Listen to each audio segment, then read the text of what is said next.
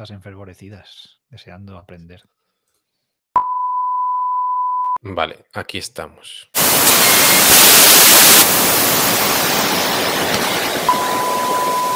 Así batimos a, la sexta en audiencia. ¿Nos están viendo ya, los queridos telespectadores? Mm, sí.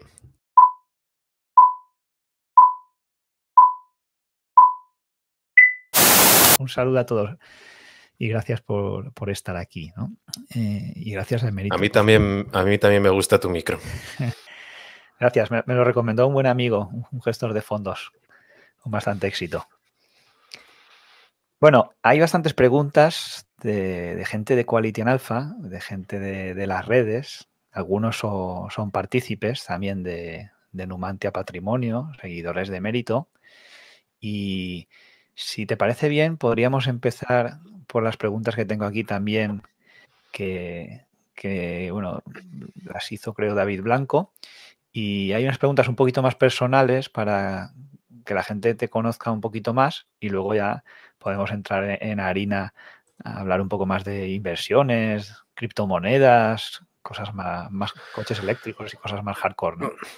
Vale, como quieras. Yo sé que hicieron un hilo en, el foro, ¿no? De Quality and Alpha, eh, que tenía por título, pues, entre la entrevista, ¿no? Y ahí han ido dejando preguntas, pero como, como hemos tardado un poco en hacerla, pues, si tú las has recopilado o quieres em, empezar por donde quieras, pues...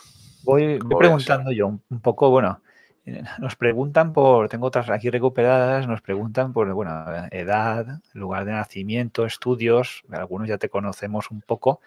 La edad no la sabemos exactamente, aunque eres insultantemente joven. El lugar de nacimiento... Voy a, cumplir 33. La edad de Cristo. Mm. Todavía te quedan como 60 años para componer. Esperemos, sí. Si Dios quiere muy joven. Es, es buena noticia que haya inversores jóvenes. La verdad es que yo me, alegro mucho porque eso quiere decir que, el futuro pues está en buenas manos ¿no? de, nuestros ahorros y, de los que vengan detrás. bueno, yo al final he escuchado muchos inversores que, admiro y algunos son jóvenes y algunos son más mayores, pero no, es verdad que, oye, a, a veces siendo más joven puedes entender un poco más algunos modelos de negocio más nuevos, pues porque los has visto en tu día a día, pero no yo no suelo ver diferencia entre buenos y malos inversores por jóvenes o por mayores, pero sí, sí que suelo ver más diferencia entre inversores eh, con curiosidad y sin ella, mayores o jóvenes, pero, pero bueno, si hay más tiempo por delante para componer, como tú dices, pues mejor. Sí, bueno, la experiencia es un grado importante ¿no? en, el tema de la inversión. Luego hay otro factor que es el de ser capaz de reconocer nuevos modelos eh, de negocio, pues por ejemplo, cosas como Facebook, las redes sociales, incluso eh, pues las criptomonedas, ¿no? Es algo que la gente mayor no entiende. Y yo a mí ya me coge casi un poquito justo, pero puede generar el día de mañana pues cambios radicales en, la concepción de las empresas, en la valoración, incluso en las finanzas, ¿no? Como, como estamos viendo en alguna que, luego profundizaremos un poco más. Bien, en lugar de nacimiento. Sí, a, mí lo que me pasó, solo por cortarte un momento, es que yo empecé a invertir más en serio o a aprender sobre la inversión, la economía y demás con la crisis del 2008. Entonces, claro, yo creo que el peligro que tiene inversores como yo, que nacemos con, la crisis, es un poco ser demasiado agorero siempre o tener ese modelo mental de, eh, de, todo es una locura, todo es una burbuja, todo puede caer un 50% en un momento. Mm, a ver, que todos empezamos, todos empezamos un poco centrándonos muchísimo en la contabilidad, en los activos más corrientes, haciendo más deep value y cosas así cuando nos acercamos a la economía, a la inversión y, descubrimos el value investing. Pero también tiene su peligro haber empezado en, eh, pues en una, en una crisis gorda, en una caída fuerte, creo yo. Pero bueno, con el paso de los años irá pasando de todo, como lo que hemos visto en 2020 o yo recuerdo también cuando ya gestionaba la sociedad familiar, que fue desde 2013 a 2017, pues que en 2015 también hubo una, caída fuerte en las empresas en las que estábamos concentrados. Y, irá pasando los años. Habrá de todo. Mm, preguntan por el lugar de nacimiento. Yo creo que se puede intuir por alguna foto que has puesto ahí. No sé si es la playa del Sardinero o un lugar cercano. Sí, lugar de nacimiento, pues el Hospital de Santander, aunque en mi DNI siempre ponía nacimiento, o pone nacimiento Arnuero, que es el pueblo eh, donde yo viví eh, muchos años de niño. Así que Santander, sí, que es donde estoy ahora. Tiene buena pinta, no, no he ido nunca, pero prometo acercarme a probar esos sobaos cuando, cuando me dejen salir de casa. Sobaos de medio kilo. Eh, estudios. Estudios de Estudios. Pues yo estudié aquí en Cantabria eh, una ingeniería, eh, la especialidad en electrónica industrial, y cuando la terminé hice, ahí ya Ah, durante la ingeniería me interesaban muchas cosas. Hice una pequeña empresa y todo, y, estaba mucho tiempo en la biblioteca de, la Universidad de Física leyendo sobre física, y, también leía mucha economía e inversión. Entonces, cuando terminé la carrera de la ingeniería, pues digo, voy a estudiar más sobre esto, que es lo que veo que me apasiona, que me interesa. Entonces, hice un posgrado en Bolsa y Mercados Financieros. Eh, en Madrid me saqué el, título de asesor financiero europeo y en paralelo pues te dan el título de gestor patrimonial en el Instituto Español de Analistas Financieros y luego fui cuando luego fue cuando me fui a la Universidad de Rey Juan Carlos a hacer el máster oficial de economía de la Escuela Austriaca y ahí fue cuando Jesús Huerta de Soto me contrató como analista y luego pues yo era el subdirector de inversiones de, de, su aseguradora y ahí he estado cinco años hasta, hasta ahora. Hasta que te has independizado. Y con mucho éxito, por cierto. Bueno, también, ¿cuáles son, cuáles son tus hobbies? ¿no? Más allá de, la inversión, que bueno, es algo que nos apasiona a todos los que te seguimos y estamos en este mundillo. ¿Qué te hmm. gusta hacer? No sé, pasear con el perro, eh, jugar a fútbol. con eso desconecto mucho, parece que no, pero como hay que sacarle todos los días varias veces, eh, tanto mi mujer como yo desconectamos mucho sacándole y en cuanto podemos y hace bueno aquí en Santander y no llueve o hace frío, pues nos vamos a cualquiera de las playas de Cantabria en la que se pueda ir con perros a dar un paseo y eso ayuda mucho. Otro hobby que tengo es tocar el piano, que, desde que estoy en Santander lo estoy recuperando más y, me gusta mucho y me ayuda. Y luego pues nos gusta hacer ejercicio, eh, un poco de todo. Eh, antes igual yo era más de eh, más de gimnasio, pero ahora pues de todo, salimos a andar, hacemos pilates, eh, cosas así. Bien, una vida tranquila y sosegada. Aprovecha ahora que no tienes hijos todavía. ya. Te da más tiempo para hacer cosas. A ver, ¿qué más preguntas tenemos aquí? Bueno, preguntan por un lugar favorito eh, de, de Cantabria o de Santander.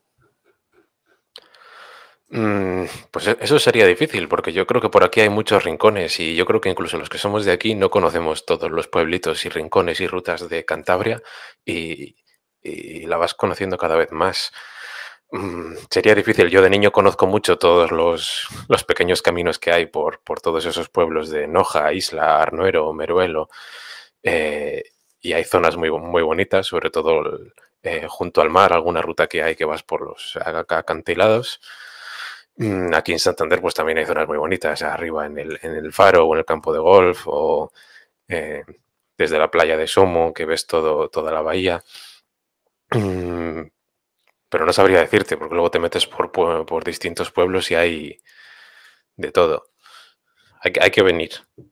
A mí me gusta mucho la playa, es algo que eh, solo la visión, ¿no? O bueno, si puedes tener el lujo de pasear por ella o, sacar al perro por allí, la visión, tú que has vivido en Madrid, la visión de tener la playa delante todos los días, que yo soy más del Mediterráneo, pero ese, ese azul del mar, ¿no? Parece que te recarga de energías y te libera de, cierto estrés. En cambio, en la ciudad, yo me doy cuenta que cuando vas, siempre tienes una carga de estrés superior simplemente en cruzar la calle y ya ver que el semáforo se pone en rojo antes de que llegues al final, tienes que acelerar los coches, el tráfico, la polución, el smog, ¿no? Eso no sé si eso, si eso es bueno para, un inversor. Igual por eso Buffett se, eh, digamos, aleja de todo ese mundanal ruido en su, en su casa de Omaha? ¿O, es mejor estar en la City rodeado de, los tiburones? Bueno, yo he tenido mucha suerte porque esos cinco años de Madrid, la mayoría ha estado junto al retiro, porque así podíamos eh, todos los días sacar al perrillo por allí y, al final todos los días ves verde y ves un... Eh, em, no, estás todo el rato entre hormigón y, entre sombras. Entonces, yo estaba muy cerca del trabajo y tenía el retiro al lado y es vivir otro Madrid casi. Y al final haces tu vida en tu zona y ya está. Y además es que en el trabajo pues estaba rodeado de gente más inteligente que yo, gente con mucha experiencia, gente de la que he aprendido mucho, en un ambiente de inversión a largo plazo, de, asegurar el, dinero de la gente para los próximos 20, 30 años, em, con esa filosofía. Entonces, mm, donde estaba, pues era un sitio muy, muy tranquilo y en el que se podía desarrollar esa filosofía de largo plazo y por lo menos podía ver un poco el verde. Pero bueno, aquí, aquí yo creo que sí que estoy más, más contento. Igual luego en unos años vuelvo a estar en Madrid, porque en Madrid he conocido también a muchas personas y si, y si estás en el mundillo, pues, pues lo mismo una vez fui a ver a, Luis de Blas allí en Valentum o a conocer a los de Oros o a tomar un café con Pablo Martínez Bernal o eh, a conocer. O sea, es distinto, sí, estás... Eh, y quedas más con gente algunas tardes para debatir ideas, para eh, para hablar, pero por el tema de la tranquilidad yo creo que es más un tema de mm, personal, de estilo. Que sí, que ayuda eh, mirar por la ventana y, tener la bahía, pues, eh, pues igual sí. Pero yo tuve suerte en Madrid. Hombre, también viviendo ahí, pues puedes hacer, no estás tan cerca como para tomar un café a diario con la gente que se dedica al sector, pero hoy en día, pues bueno, con las comunicaciones que hay, no sé cómo estáis comunicados ahí por tren, pero bueno, si no, en, avión también te puedes acercar o, incluso en, coche, pues una vez por semana. Bueno, el curso, el, curso para sacarme eh, el LEAF lo hice todo yendo y viniendo en avión. Como sabía qué días iban a ser las clases y podía pillar los billetes lo más baratos, 70 mm, euros ida y vuelta con dos meses de adelanto, pues iba yendo y viniendo en Madrid en avión desde Santander. Pero vamos, que en coche estás en cuatro horas y media o en, cinco y ya está. Tengo un buen amigo que es ingeniero de obras portuarias y yo cuando estudié aquí en Valencia también en la escuela de, caminos, hablaba mucho de, la escuela de Santander, ¿no? Porque las, pioneras en España pues, fueron Madrid, Barcelona y, Santander. Y, y, mi amigo Luis, si no le hago reconocimiento, luego me echará la bronca. No sé si tú tienes algún amigo que haya estudiado ahí en la escuela de caminos o se dedique al tema portuario, pero siempre se, se hablaba muy bien de, en concreto, pues de, los expertos allí en, temas marítimos y hidráulicos también. Sí, eh, yo estudiaba detrás de la Universidad de Caminos. La Universidad de Caminos está delante junto a la carretera, es la, más antigua y la nueva, la de, la de industriales y telecomunicaciones, está justo detrás. Pero vamos, que allí ibas a, algunas clases o a la biblioteca y lo que sea. Yo recuerdo en Caminos dar la clase de, ciencia de materiales, eh, porque yo empecé en la, superior y, lo hacíamos allí.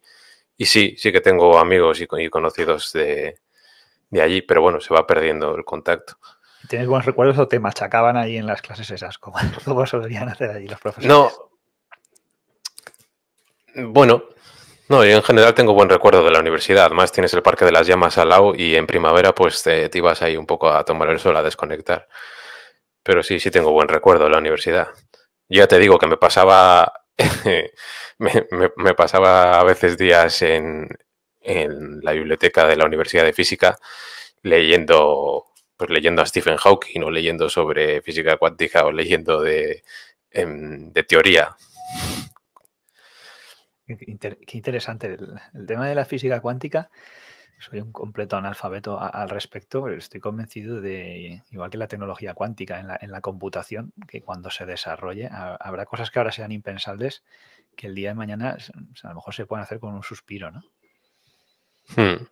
Sí, y, había muchas pues, pues, revistas de divulgación y, de electrónica también tenías muchas cosas que a mí me, gustaba hacer eh, experimentos y cachivaches y tal.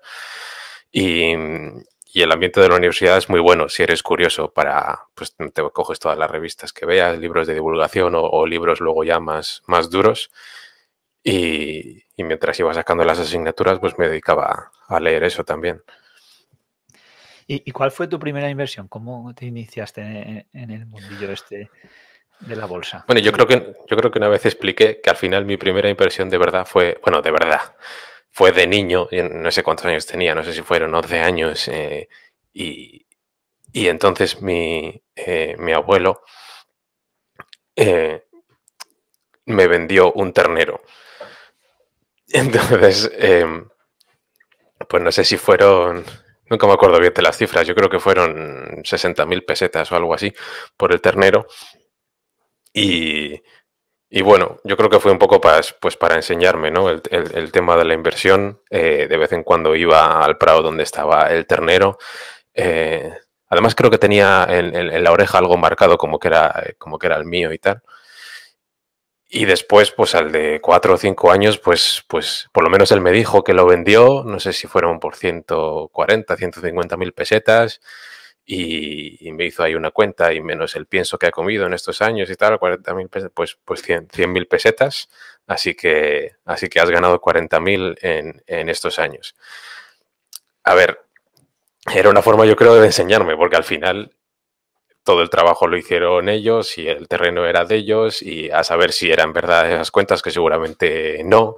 Igual perdió dinero y, te dijo que había ganado. Y, seguramente no. Y, luego ellos tenían una carnicería y,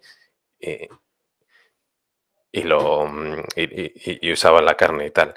Pero bueno, digamos que te despertaba esa curiosidad por, por la empresarialidad y por los negocios. Yo creo que más del mercado financiero de la bolsa, pues ya con 14, 15 años, creo que una vez con, mi padre, pues metimos, eh, no sé si, no sé cuánto era, no sé si eran 3.000 euros en, en Metrobacesa y en alguna cosa más, o sea, eh, no sé si era 2004 o 2005, pero cosas sin criterio, digamos, sin, sin hacer los deberes bien y sin saber lo que hacíamos.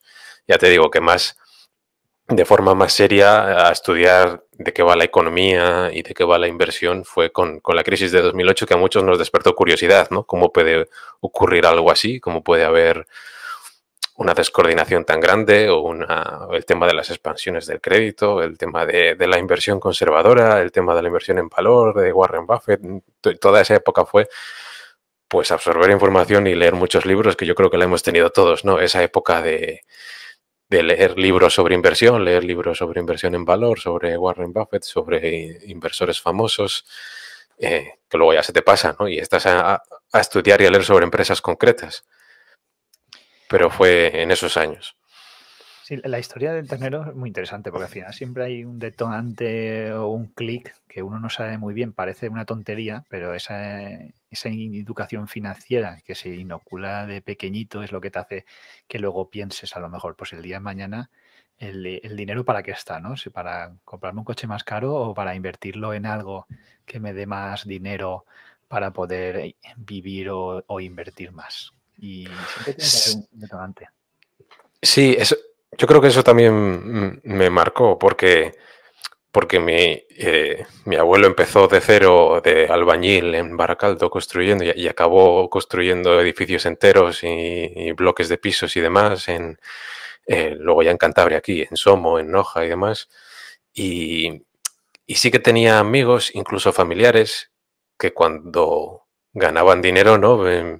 Vendiendo los, los, últimos pisos, pues lo que hacían era comprarse un coche nuevo, ¿no? O incluso comprarse un barquito y cosas así. Y él no, él lo que hacía es coger todo ese dinero y reinvertirlo. Y pues vamos a hacer otro bloque de pisos aquí. Pues vamos a hacer un hotel allá para cuando las cosas vayan mal en la construcción o, o cuando vayan las cosas mal en la ganadería, tener otra cosa. Pues aparte de la construcción, aparte de, de la ganadería, tenemos este pequeño hotel o esta pequeña carnicería y si ganamos dinero con eso, reinvertimos y a otra cosa. Y compramos terrenos y compramos eh, este bosque maderero. ¿no? Y entonces era una filosofía más de reinversión y de diversificación que de, pues he ganado dinero, he tenido éxito, pues otro coche, pues otro capricho, pues otra historia. E incluso, incluso una casa que él construyó para, para él y para su mujer y para para los hijos si querían, la, casa en sí misma estaba pensada para que en su día pudiese ser un hotel. ¿no? Era, una casa grande de, tres pisos, pero estaba pensado como cada planta tenía sus habitaciones y sus habitaciones y con, el baño propio y, y sí, pues es la casa familiar, pero en su día podría ser pues un pequeño hotel, un pequeño eh, hostal. Todo, estaba pensado mm, eh, con esa perspectiva. Y luego ya también, pues... Sabía lo que era el interés compuesto, ¿no? Y, intuitivamente. Claro, claro. O el, empezar desde nada y ver esa, sí, ver, ese, poder de, la reinversión. Y con los terrenos igual, él comprado cada vez más y más y más. Eh, él decía que él solo quería lo que lindaba con lo suyo. Entonces, claro, cuando vas comprando el terreno de al lado, pues siempre hay otro terreno de al lado. Pero a mí todas esas cosas en un entorno así de, empresarialidad y de, hacer negocios, pues claro que te, eh, claro que te afecta.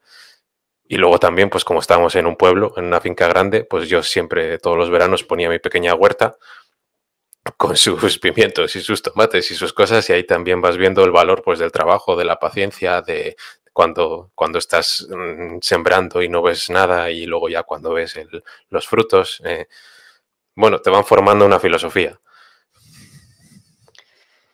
Qué importante es eso y, al final transmitir esos valores. Bien, sobre, no sé, sobre tu estilo de inversión, la evolución a lo largo del tiempo, está muy de moda, que si las palabras value, growth, yo creo que ya se hablaba alguna vez, de que al final pues, creo que se trata de coger lo, mejor de, cada inversor, una parte, ¿no? Porque etiquetar a alguien con una filosofía, no sé si tú eso lo ves adecuado, a lo mejor es más una herramienta de marketing que una realidad, o, puede que haya gente que sí que se sienta identificado con una filosofía en concreto. Bueno, marketing hay, marketing hay mucho en este sector y al final búsqueda científica de la verdad y tal, pues poca. Pero lo de las etiquetas eh, no creo que sean filosofías, son más mm, etiquetas de estilo que sirven para, para, pues para esos recuadros de, separación de fondos y cosas así. Mm, o sea, yo, yo, lo entiendo que para algunas webs, pues como Morningstar y cosas así, no pueden hacer igual que nosotros estudiamos bien las empresas, no pueden hacer un análisis cualitativo del fondo, de a ver esta persona que, eh, es, cómo invierte, pues me gusta, no me gusta, eh, y, poner estrellas, digamos, cualitativas o estilos eh, cualitativos. Eso sería muy difícil, entonces se hace de forma cuantitativa. Y desde el punto de vista de los académicos de la inversión, que lo tienen con un enfoque más matemático, pues también para ellos lo del value y el growth y tal son factores, factores estadísticos que, salen cuantitativamente de cocinar la contabilidad de forma agregada y entonces separan unas empresas u otras. estas tienen múltiplos bajos, estas, tienen, estas crecen las ventas mucho, estas tienen márgenes mayores, menores, pero no hay ningún análisis, ningún criterio cualitativo ahí, entonces no tiene, no tiene demasiado valor. Cuando ya enfocas la inversión con lo único que veo yo que tiene sentido, que es desde el punto de vista empresarial, como, como pedazos de negocios reales, pues esa inversión empresarial eh, es inversión a secas. Eh, lo de la inversión en valor es redundante porque siempre vas a querer conseguir más de lo que das, no siempre vas a conseguir, vas a querer comprar algo por menos de lo que tú crees que vale. Y yo creo que en este aspecto es muy buena la carta de Warren Buffett de 1992, en la que explica muy bien que, por ejemplo, el crecimiento eh, siempre es una parte del valor, pero es que además el crecimiento puede ser negativo. O sea, si una empresa crece, pero su, se suele decir también matemáticamente la rentabilidad sobre el capital, si es menor que el coste de capital, si creces destruyes valor. Pero si eres una empresa con ventajas competitivas, ¿no? Y, y esos, esos euros extra los puedes reinvertir a una rentabilidad buena, mayor que el coste de capital, pues entonces si creces, sí, que creas valor. Entonces el crecimiento puede sumar o restar. Y el crecimiento puede ser una parte muy importante de la valoración, pues porque el ciclo de vida de la empresa está ahí, o puede ser una parte muy pequeña. Entonces, depende de cada empresa. Al final, la inversión son estudios de caso, uno a uno. Y es muy importante esos modelos como el del ciclo vital de la empresa, pues esta empresa está en modo siembra, ¿no? Como en la huerta, o esta empresa está ya madura, con sus márgenes estables, con poco, con poco crecimiento y en fase de, recoger los frutos, con la contabilidad mucho más representativa y demás. Entonces, no se pueden usar eh, pues el tema de los múltiplos igual en una, en una empresa en una fase o en otra. Entonces, lo de las etiquetas, pues al final no lo veo mucho sentido. Tiene sentido, pues eso, empresa por empresa, ir encontrando eh, mm, buenas empresas a precios razonables y, si están muy infravaloradas, mejor. Y si están bien gestionadas, mejor. Luego es verdad que depende mucho del estilo de cada uno, porque si a ti te encajamos un, estilo, pues es más probable que te ciñas a él y que, y, que te hagas cada vez más experto en él y lo hagas bien. Y, eso encaja más con la personalidad de cada uno. Otra persona puede, eh, le puede gustar más ir levantando piedras, encontrando gangas momentáneas y ser muy bueno en eso y le va a ir muy bien. Entonces también depende mucho de la personalidad. Pero ese, ese enfoque empresarial de esto no son gráficos, esto no, esto no es no compramos contabilidad, compramos el futuro de las empresas. Ese enfoque empresarial cara al futuro, de que el valor, todo el valor está en el futuro, siempre va a ser así. Ya compres empresas mejores, peores, más o menos baratas o con un estilo personal u otro. Pero esa realidad siempre va a ser así. Voy a remarcar eso para los que nos estén viendo o escuchando, porque si, os fijáis, eh, Buffett y otros inversores legendarios, hay quien no le gusta hablar de inversores legendarios, pero bueno, a mí me encanta hablar de inversores legendarios, ¿no? Como jugadores legendarios. Ellos hablan de negocios, ¿no? No hablan de compañías ni de empresas, ellos siempre hablan de negocios, business, ¿no? Y dicen, buscamos negocios terroríficos. Siempre dicen, buscamos negocios terroríficos o terrifics, no sé si sería la traducción correcta, pero siempre negocios hablan de un buen negocio, ¿no? Porque una de las frases que también comentan muchos, dice, yo tengo un, un negocio excelente, como pueda ser el de McDonald's, aunque lo lleve un zoquete como yo, el negocio seguirá funcionando bien y ganando dinero. En cambio, eh, un negocio que sea malo, aunque lo lleve una persona que esté muy preparada, pues va a tener muy difícil para sacarlo adelante. Y esa perspectiva en el medio largo plazo es la que te hace que independientemente de la valoración del mercado, salvo que sea algo eh, pues estratosférico, que esté fuera de, toda lógica, a largo plazo es lo que hace que ese negocio eh, pues encuentre su camino y, genere su valor, ¿no? Aparte de todo el, coste de capital, WAC y, todo eso. Y probablemente eso, por ejemplo, pues poner, poner un ejemplo, luego hablaremos de, Tesla y estas otras. Una empresa que hoy me he dado cuenta que ha pasado los mil euros de cotización por acción es la de Hermes. ¿no? Un negocio tan sencillo como Hermes. Fíjate, un negocio tan sencillo como hacer bolsos y tienen el famoso bolso en este Birkin, no sé si vale ya como 15.000 euros. Estos no les preocupa la inflación, te lo suben el doble cada año y, cuanto más lo suben parece que más venden. Yo creo que ese es el resumen. Sí, que los inversores no analizamos acciones y mucho menos gráficos. Los inversores analizamos negocios. Y eso pues tiene mucho input eh, cualitativo. es empresarial. Ah, hablando de inversores, no sé si, si tienes alguno favorito que te, guste más que el resto, alguna preferencia. Yo más o menos me hago una idea, pero siempre, siempre hay alguno oculto por ahí o, nuevo que sale. no sé si, supongo que te gustan más los americanos que los europeos. No sé si por cantidad o por mm, calidad. No, europeos también. Em, pero sí, ahora sí que, que recuerde, o sea, yo tengo una lista bastante larga, ¿no? Y voy siguiendo cartas de muchos inversores, pero así típicos que me vengan a la mente, pues eh, eh, me gusta mucho Pat, Dorsey, em, que, sigue, que sigue gestionando un fondo. Me gusta mucho eh, Bill Nygren de Oakmark. Me gusta mucho Tom Gainer, que es el gestor de Markel y, cómo explica las cosas. Más, más en Europa, pues tenemos a Rob, a Rob Vinal con, eh, con su fondo, que no sé si está en Suiza o en, Alemania. Eh, bueno, él está en Suiza. Yo creo que la gestora es suiza, pero el fondo se distribuye en el fondo se distribuye en Alemania y se comercializa allí. Pensábamos ir mi amigo hmm. Quixote y yo en enero. Con esto de la pandemia, pues lógicamente no. Y al año que viene, ya que estoy aquí, pues todo el que se quiera apuntar, le decimos que nos haga un sitio y vamos a, y vamos a hacer una, tertulia con él. Pues merece mucho la pena las, las cartas de, de Rob Vinal y la cartera. Em, a Ron Baron también le sigo mucho, que además Ron Baron es eh, como el arquetipo casi de, inversor a largo plazo en empresas de calidad, que ha tenido empresas pues durante 20 años y 30 años em, y después de valer 10, 20, 30 veces más, las empresas las sigue manteniendo en, los fondos. Mm, y luego hay muchos inversores más nuevos, pero que son muy buenos eh, en China están apareciendo mucho. Em, sí, China se llama? Estados Unidos, ¿no? Que está, bueno, como el caso de Li Lu, este que se ha hecho también muy, muy famoso. Li Lu, que es como el, gestor, el, gestor de Charlie Munger, ¿no? Para sus inversiones en China. Ahí no me sale ahora el nombre de, esta, eh, de esta gestora muy buena que me, que me gusta, pero me, mm, me acordaré, lo tenía por aquí apuntada. Asiática también, ¿no?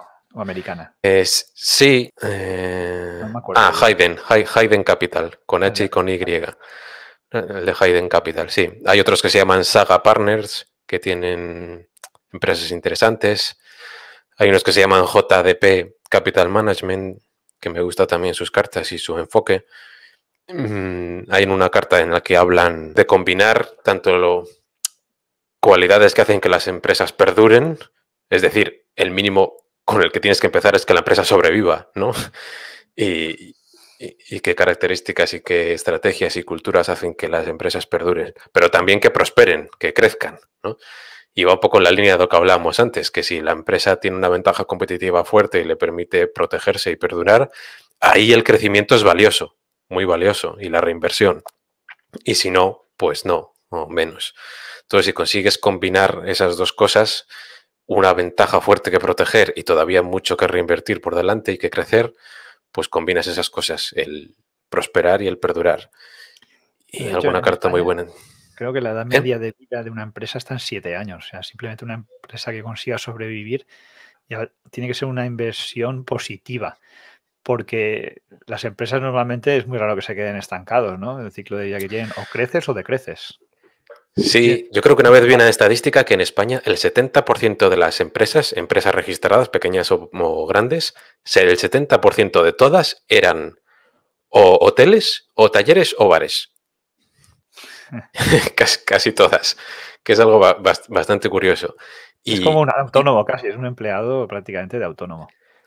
Sí, en España hay mucho autoempleo crear un negocio no para que yo como accionista, como capitalista, me quede algo eh, de beneficio, sino que monto un negocio para fabricarme un empleo, un empleo de sueldo variable, ¿no? Entonces no, no suele ir mucho más allá. Digamos que tú eres el empleado, tú tienes que estar ahí en el, en el trabajo para que dé dinero y hay muchos costes fijos en los que uno de ellos pues es tu sueldo. Entonces es un enfoque distinto.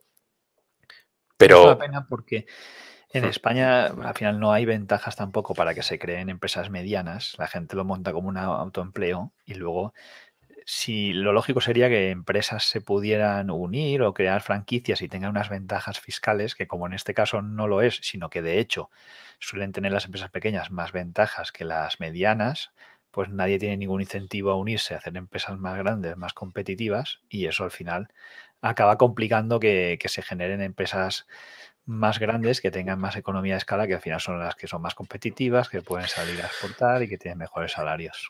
En las que pueden pagar mejores sueldos, eso es. Sí, hay mucha, eh, mucha ley que desincentiva el, crecer. Eh, pero mira, me, acabo de acordar al hilo de esto de otro inversor que a mí me gusta mucho, que se llama Clifford Sosin, que está en Twitter y que sus vídeos y sus cartas son muy buenas. Es un inversor hiperconcentrado. Creo que el 70% del fondo creo que son tres empresas ahora mismo y no sé si en total tiene seis o siete. Y gracias a él, pues empecé a investigar Carvana, por ejemplo, que la hemos tenido en el fondo y nos ha ido muy bien.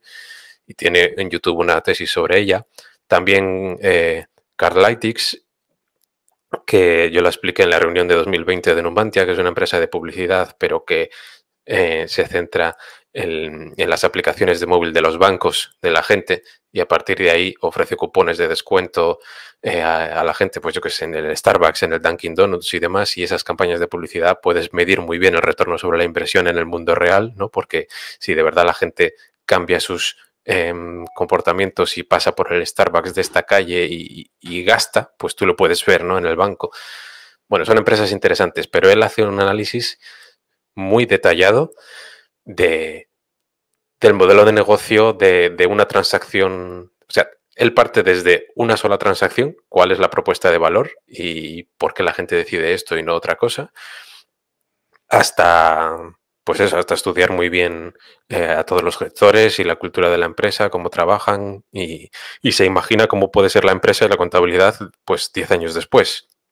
Y es más, él dice que cuando inviertes a largo plazo, cuando inviertes en general y, valoras el, futuro, la mayoría del, valor de las empresas es lo que se llama el valor terminal, que es el valor descontado de los flujos desde el año 10 en adelante. Entonces, claro, te, estás yendo muy allá en el futuro, ¿no? Por eso es importante que las ventajas competitivas sean duraderas o sostenibles. O por eso es muy importante preguntarse, ¿esto dentro de 10 años va a estar aquí? ¿Dentro de 10 años la gente va a seguir valorando esto, eh, la empresa va a ser más grande, va a mantenerse. Y él dice que, claro, si inviertes a largo plazo de aquí a 10 años y vendes dentro de 10 años, dentro de 10 años le estás vendiendo a alguien, a un inversor que está comprando, que está comprando también con la vista en el futuro, lógicamente, en los siguientes 10 años quizás, con un valor terminal de dentro de 20 años. Entonces, empiezas a irte mucho en el futuro, muchísimo, para la inversión exitosa. Entonces, todas estas características que permiten que las empresas prosperen y perduren, te vas más allá de un ciclo económico y te vas más allá de incluso de ventajas que, pueden protegerte, pero solo 5 o 10 años, y empiezas a meterte en temas de incentivos, en temas de la cultura de la empresa, en temas de, de la habilidad de los gestores para transformarse y reinventarse, y empiezas a ver Mm, pues eso, fijarte en cosas que seguro que van a seguir estando ahí dentro de 10, 15, 20 años, o seguro que van a ser más grandes. Y es difícil, es difícil encontrar empresas así, filtrar para, eh, para no equivocarse. ¿Y qué opinas? Ya casi me has contestado ahí, ¿no? ¿Qué opinas de aquellos que creen que la inversión en sí e, es una ciencia, ¿no? Y que se puede controlar con algoritmos, sin entrar tampoco en mucha polémica, pero es, cierto que la gente normalmente no tiende a pensar dónde va a estar esa empresa dentro de 10 años y por lo tanto el mercado infravalora las empresas que en 10 años eh, han conseguido generar valor. ¿Por qué? Porque normalmente la gente está, está, pensando en 3 meses, 6 meses, 12 meses vista. Es muy raro que alguien piense más allá de 3 a 5 años y menos a 10. Eso yo creo que es lo que se valora también ahora, por ejemplo, con, Facebook, ¿no? que están diciendo que, si vale 500 dólares, que si vale 1000, si es capaz de monetizar todo lo que tiene, probablemente sí. Pero, ¿crees que eso de alguna manera se, puede modelizar mediante algoritmos? Y eso tendemos mucho la gente que ha estudiado ingeniería a pensar que con el Excel lo resuelves todo. Eh, eso, te iba a decir que... Mm, eso te iba a decir que los, los ingenieros, es curioso porque hay, muchos inversores ingenieros, no sé por qué. Em, yo, yo tengo mi teoría. Al final en la ingeniería lo que te enseñan son modelos mentales para resolución de problemas, ¿no? Y luego ya las cosas concretas, pues, eh, pues es distinto.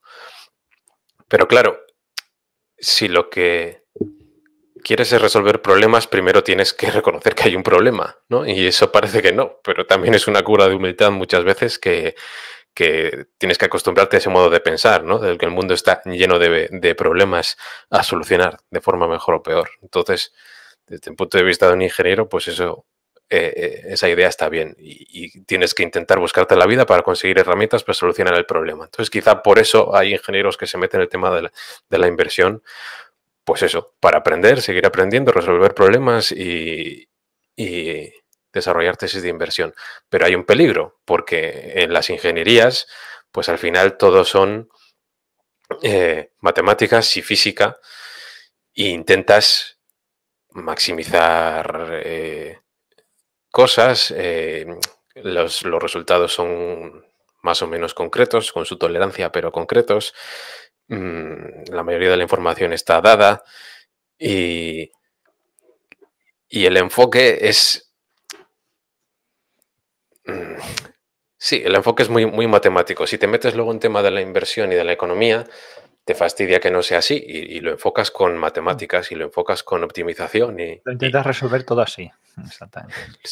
Claro, lo intentas resolver todo así. Y no es así. A mí en ese sentido me vino muy bien el máster en economía de la escuela austríaca porque es todo lo contrario, ¿no? Te das cuenta de que la economía nunca está en equilibrio, siempre eh, que no es, no es matematizable, mucho menos a nivel agregado, y que la economía es ese know-how que tenemos cada uno en nuestro cerebro que no se puede articular y, y nos estamos dando cuenta de cosas nuevas.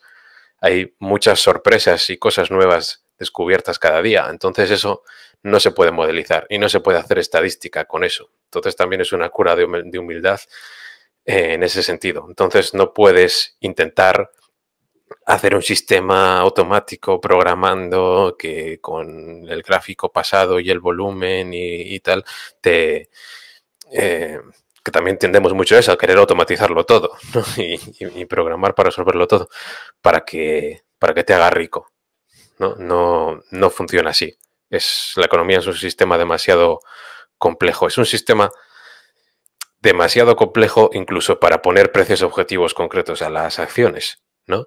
Como el futuro siempre es incierto, pues si con ventajas competitivas y, con cosas a las que agarrarte al futuro puedes hacer estimaciones más o menos certeras y conservadoras, entre esa neblina, pues al final acabas en un rango de valores que cuanto más te alejas en el futuro, pues más amplio es y más difícil es de ver, ¿no? Pero eh, digamos que siempre es un rango más o menos incierto.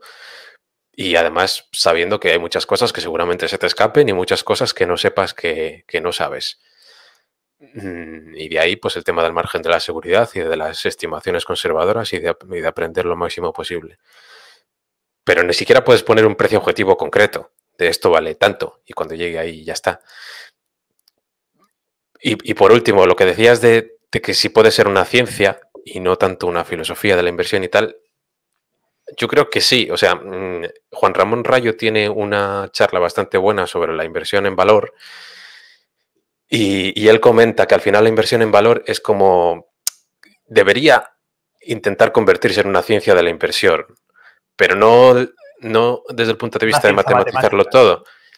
No, no, no, desde el punto de vista de matematizarlo todo, sino de tener rigor en las categorías en que hablamos cuando mencionamos cada cosa, en preocuparse porque todas las proposiciones y la teoría sea consistente entre sí, con, las leyes económicas, en articular un conocimiento, pues que sí, a veces es difícilmente articulable, ¿no? Todo este conocimiento empresarial de, inversión, pero, eh, pero digamos, de lo que habla Juan Ramón Rayo es de que hay que abandonar un poco ese anecdotario de experiencias personales de los inversores y de los inversores famosos y, y que sí podemos trabajar en pos de una modelización de las técnicas inversoras eh, más allá de lo que existe ahora. A ver si un día, un día tenemos que charlar con Rayo y tratar de profundizar eh, en ese tema de la inversión. en el trabajo de fin de máster mío yo intento un poco eso, digamos que intento fundamentar la, la, inversión o la inversión en valor pues con las leyes económicas que tenga sentido, ¿no? Y conecto desde cómo actuamos las personas, conecto con el valor de las empresas y, el valor de las acciones para ver que no se puede separar el valor de las acciones de la realidad económica de, la empresa y que no se puede separar de la preferencia de los consumidores finales, ¿no? Eh, el típico ejemplo sencillo que pongo yo, si, un trozo de tierra, un huerto, eh, sirve para cultivar tomates y no tiene ninguna utilidad alternativa, solo sirve para, cultivar tomates y no sirve para nada más, y de la noche a la mañana la gente deja de valorar los tomates para comer, pues automáticamente ese bien de capital, ese activo que puede tener eh, acciones sobre él, vale cero. Entonces, esa, esa línea lógica, pues, pues tiene su, fundamento de leyes económicas. Entonces, en, el tema este de la inversión, aunque tú consiguieras explicarle a la gente en general cómo funciona o cómo puede funcionar, y es cierto que sería muy útil que hubiera teorías e incluso pues, se explicara en las universidades o en, los centros docentes. Luego hay un tema muy humano y es que ahora tú, por ejemplo, ¿cómo le explicas a una persona que si quiere ganar 100.000 euros al año tiene que estar ahorrando duro, duro o como un cabrón durante 30 años, invirtiendo con cabeza y entonces empezará a ganar dinero de verdad por el tema de interés compuesto. Cuando ves lo que ves en Twitter es gente que ha ganado 100.000 euros en un año con el Bitcoin y está propagándolo a los siete mares y se dedica pues, a, pasear por las playas de Brasil o a saltar en paracaídas o lo que les dé la gana. Entonces, es difícil explicar que en realidad es un tema de esfuerzo, de sacrificio y cultural. Es difícil porque el dinero fácil engancha más que la droga. El dinero fácil engancha más que la cocaína. Entonces, eso siempre va, a pasar. Pero es lo que tú dices. Los primeros 100.000, por ejemplo, son los, más, son los más difíciles. Yo recuerdo empezar con la sociedad familiar pues con, en 2013 con 16.000 euros y, y ahora pues ya son 120.000. Pero es que han pasado 8 años ocho años también de ahorro periódico, porque yo sigo metiendo mil euros al mes en, en Numantia. Pero es que una vez que tienes 100.000 euros... in the game ahí, eh, porque lo vemos, lo vemos en, Twitter. Yo creo, no sé si hay algún gestor más que se atreva a, mostrar eh, el skinning de game. Sin duda es Bueno, no sé si será buena idea. Igual luego cuando es más, igual, igual no es buena idea enseñarlo tampoco, ¿no? Pero bueno, ahí está. Y es verdad que los imagínate que, no sigues reinvirtiendo ¿no? Y, que, tienes que vivir de, ello. Imagínate que, es, que esos 100.000 eh, euros pues consigues a largo plazo, aunque sea un, 5% eh, anual. Pues es que después de todo ese esfuerzo y de ese tiempo, con tus primeros 100.000 euros, tienes una máquina de imprimir 5.000 euros al año. Exacto. Entonces esa, esa impresora de 5.000 euros al año ya te ayuda en, más en los siguientes 100.000, ¿no? Y es una bola de nieve, pues que, cuesta. Pero eso va contra el sistema, porque tú imagínate que le explicas a todo el mundo eso en las escuelas. Y cuando llega la gente dice, no, yo lo que quiero es poner el dinero a trabajar. Yo no me quiero hacer autónomo, pagar 400 euros o pagar el 35% a la seguridad social, el 40% de IRPF. Entonces, ojo, que ahí el sistema como lo conocemos podría peligrar. Bueno, para eso está la educación también, ¿no? Y los padres. Antes, antes ponía yo en el Twitter el, libro este que me, que me, regalaron en Value School, que, lo hace una parte de Value School que se llama Value Kids, que se llama Ahorra tus bellotas. Pues así un niño aprende incluso lo más básico, que, no puedes gastar siempre todo lo que ganas porque luego viene un momento malo y, te quedas sin comida, ¿no? Pues entonces tener ese hábito de, de cada 10 bellotas guardo dos por si acaso para cuando no tengamos, pues pues se aprende de niño.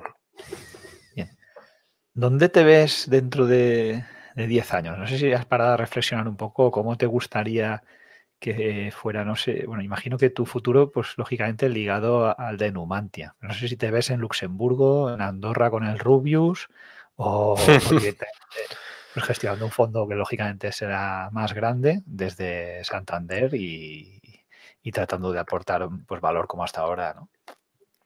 Yo espero no, espero no tener que irme, porque sí, eh, aunque España eh, tiene sus problemas, pues yo siempre tiendo al optimismo, ¿no? Eh, si mantenemos pues esa competencia fiscal entre comunidades y si, Madrid consigue aguantar y, no la liamos más, pues bueno, yo espero que, que, no, que no acabemos en el precipicio, ¿no? En, en, España y que nos que no empeora la cosa. Pero sí, yo, o sea, al final mi familia está aquí y, y, no me veo, no me veo fuera. Espera un momento que esto sigue un poco mal. Bueno, oigo mucho ruido. ¿Tú me oyes bien? Sí, yo te oigo perfectamente. Vale. ¿Y, dónde me veo dentro de 10 años? Pues, pues es que lo, lo mismo con... Yo espero que igual que ahora. Y si, si, tenemos más, más activos bajo gestión, pues la comisión será más baja. Eh, no me veo cambiando de, sitio y de gestora ni de estas cosas, pues eh, porque no me gusta marear a la gente y me gustan las cosas sencillas y que las cosas sigan como están. Y yo no veo muchos cambios, o sea, yo estoy contento, yo... Eh, yo estoy contento con lo que hago. Entonces, no. Bueno, para estar contento y, ojalá que continúe. ¿no? Yo, también soy cliente de, Renta 4 como tantos otros que nos están. Me faltan pocas cosas. Me falta. Quizá en el futuro me falte un, piano de cola, que tengo el mío digital pequeño, y ese pueda ser un, objetivo a conseguir. Pero es que más allá de eso, yo estoy contento ya con lo que hago y con cómo vivo. Bueno, pues bien, igual a nivel, a nivel personal, no sé, a lo mejor se incrementa. No tengo sitio para el piano ahora mismo, o sea que no, no podría entrar ni en el salón ni en ningún lado, o sea que. La verdad es que es bonito lo de tocar el piano. Yo he dado algunas clases en plan autodidacta, hoy en día que hay, hay mucho, pero es, como el golf, ¿no? Tienes que entrenar tanto que si no al final lo, lo pierdes. Sí, lo del piano, perdóname. Voy a ver. Que vosotros me oís bien, pero yo oigo un ruido constante que me da rabia. Bueno, en fin. Lo del piano sí que es cierto que requiere mucha disciplina y mucha constancia. Y yo de niño, pues alguna vez acabé hasta llorando porque es que en el conservatorio también te dan mucha caña y no...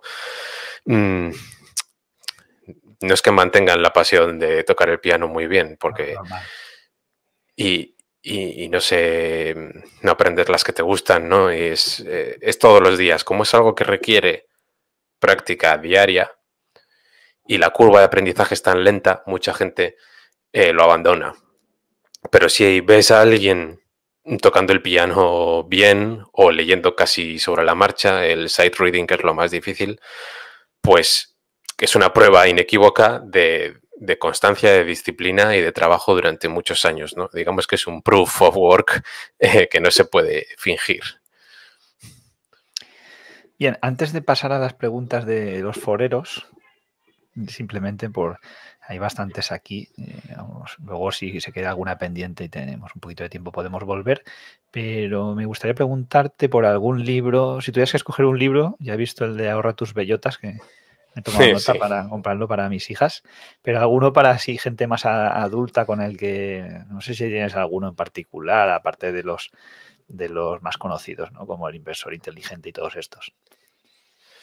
Eh, Sí, mm, a ver, voy a hacer una recopilación. Está Un paso por delante de Wall Street. Es, fantástico. De, Peter Lynch, muy bueno, muy mm, práctico y... Cualquiera que, lo hubiera leído bien habría invertido probablemente en Zara hace 12 años y hubiera sacado una buena rentabilidad. O en el, o en el Primark. Primark. El de invirtiendo en calidad lo tengo tanto en español como en inglés, obviamente. El de Quality Investing es muy bueno. Lo han traducido al español invirtiendo en calidad. Eh, Mira, pues está en español también. Para... Sí. Para empezar un poco el tema filosofía y, Warren Buffett, el de Buffettología es muy sencillo. Muy sencillo y está muy bien. Hay uno que a mí me gusta, que era difícil de conseguir, pero ahora que se puede volver a comprar, que se llama Warren Buffett y la interpretación de los estados financieros, que además está aquí, este de aquí.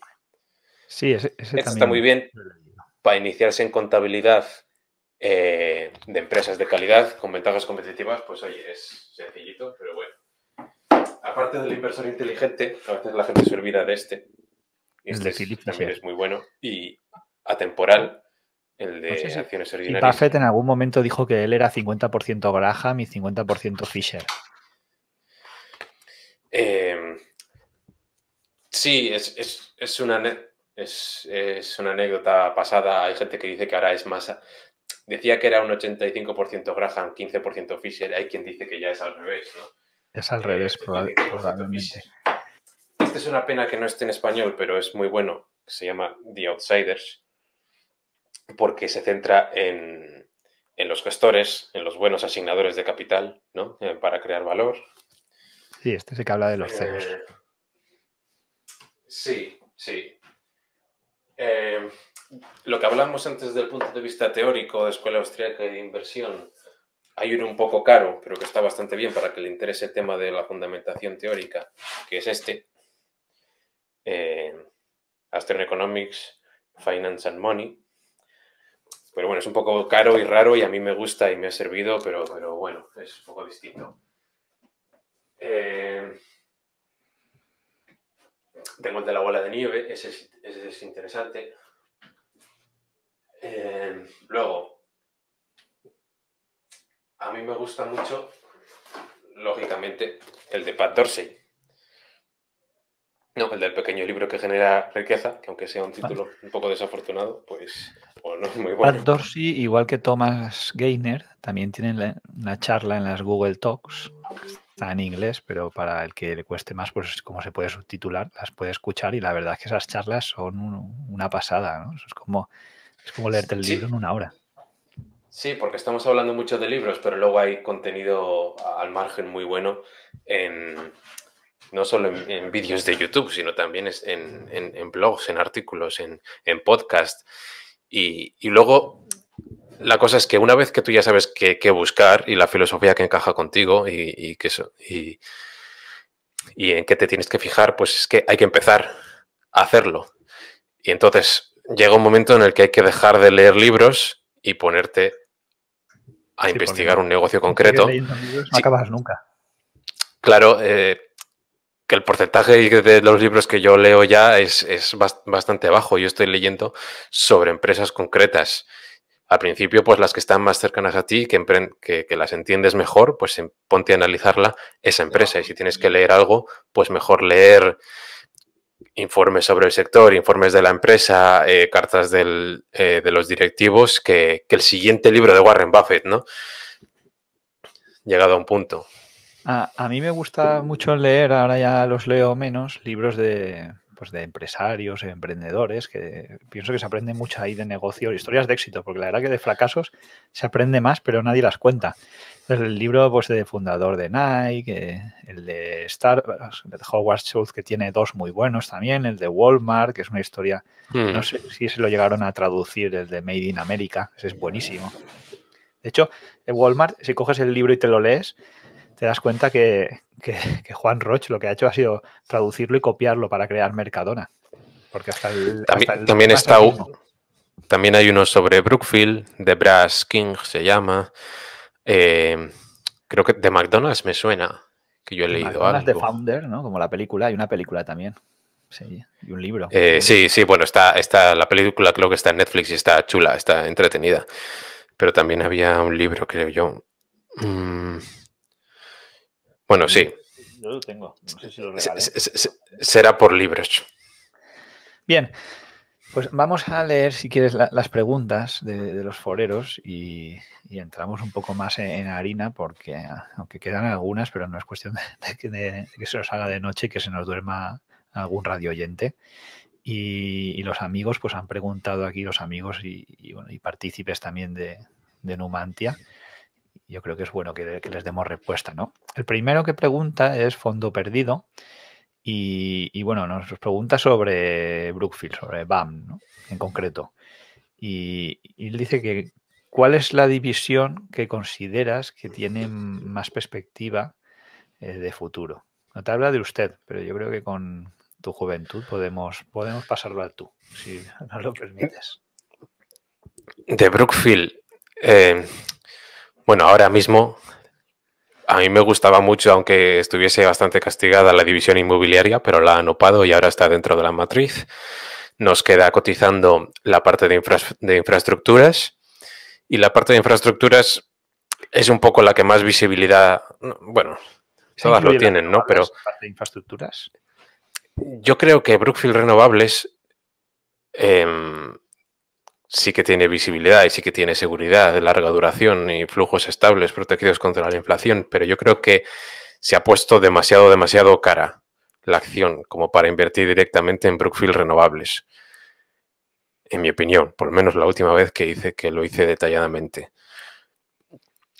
Y la de infraestructuras tiene más visibilidad porque es que la necesidad de infraestructuras de aquí a 2040 eh, de, forma privada está muy clara y es enorme. Mm, pero al final depende mucho de la situación de cada uno, porque las filiales están más pensadas para gente que necesita rentas. Tiene su dividendo, pero es que también le estás pagando comisiones a la matriz. Em, y, bueno, ellos al final, dependiendo de la situación de cada una de sus filiales, pues, pues hacen jugadas, ¿no? Y hacen estructuras complejas y hacen ampliaciones de capital, hacen OPAs, hacen recompras de acciones. Entonces yo creo que la mejor forma al final o sea, es muy interesante cada filial y estudiarla y, eh, porque la contabilidad es como es, las amortizaciones aceleradas que hacen con las presas, este detalle que hacen aquí, esta nota al pie, hay muchísimo que estudiar ahí, vale. Pero al final la mejor forma de aprovecharte de su talento y de aprovecharte de esas comisiones y de aprovecharte al final del negocio asset light, que es la gestión de activos, es invertir en la matriz. Porque, además. La financiera que hacen, tú no la vas a replicar, desde luego, desde el sofá de tu casa. Eh, eso es, igual te gusta mucho más una, parte que otra y lo puedes tener o tenerlo por el dividendo, eh, eso está bien. Pero al final, si quieres aprovechar la creación de valor, el talento y esas operaciones eh, y estar, estar de ese lado ¿no? de, de la batalla, yo creo que lo mejor es la matriz, porque además con la matriz tienes diversificación instantánea. Y si uno hace la cuenta y al final estás invirtiendo en las filiales también, tienes un porcentaje. Pero si descuentas ese valor de las filiales y ves lo que pagas por el negocio en sí de gestión de activos desnudo, que además es, muy estable es, y es creciente, pues es que te sale la cuenta 8 o 9 veces las comisiones de los próximos meses, tanto fijas como, como variables. Entonces, o sea, además de ser un buen negocio, ser bien gestionado y estar diversificado, es que es bastante barato. Entonces, yo a la gente le diría, bueno, eh, pues lo que tenemos, lo que tenemos en el fondo. Es, al final, la cartera del fondo es reflejo de mi opinión y es lo que tenemos, la matriz.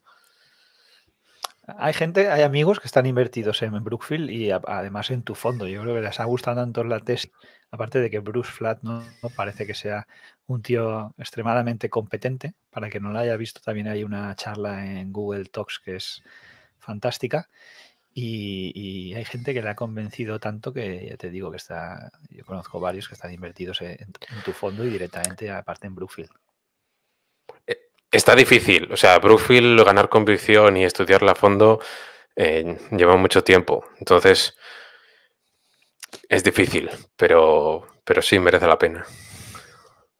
Bien, segunda pregunta de, fondo perdido. Aquí yo creo que nos van a preguntar mucho más, pero empieza con el, con el Bitcoin. Y bueno, pregunta hmm. si, si lo considerarías un, valor refugio eh, tal y, como es el oro.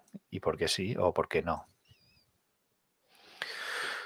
Mm, sí, yo lo considero un mejor, un valor refugio incluso superior al oro es similar al oro por muchos aspectos, pues porque es un bien presente, no, es, no es una inversión en el sentido de que hay intercambio ¿no? de bienes presentes por futuros, no hay financiación de empresas, no, no hay flujos de caja, no, no es una inversión en el sentido científico de la palabra, sino que es un atesoramiento de bienes presentes igual que el oro. Y el oro eh, tienes aquí una onza y dentro de 10 años tendrás una onza. Entonces, eso no se puede analizar desde el punto de vista de activos financieros, sino desde el punto de vista de bienes monetarios. Y lo bueno de un bien, de un activo real, es que no es deuda de nadie, igual que el oro. No, no tienes riesgo de contraparte. Entonces, hay que estudiarlo desde el punto de vista de sus cualidades monetarias. A, a la vista pues un poco de la historia de la humanidad y de la historia del dinero. Eso es bastante poco común, poco frecuente.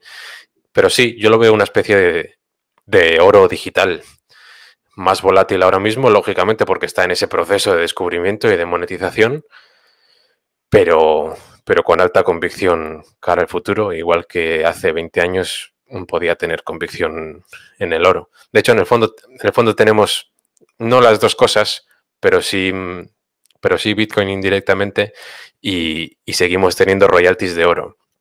Que es verdad que las royalties de oro estás eh, comprando onzas futuras con descuento, estás apostando por un equipo gestor, por su talento.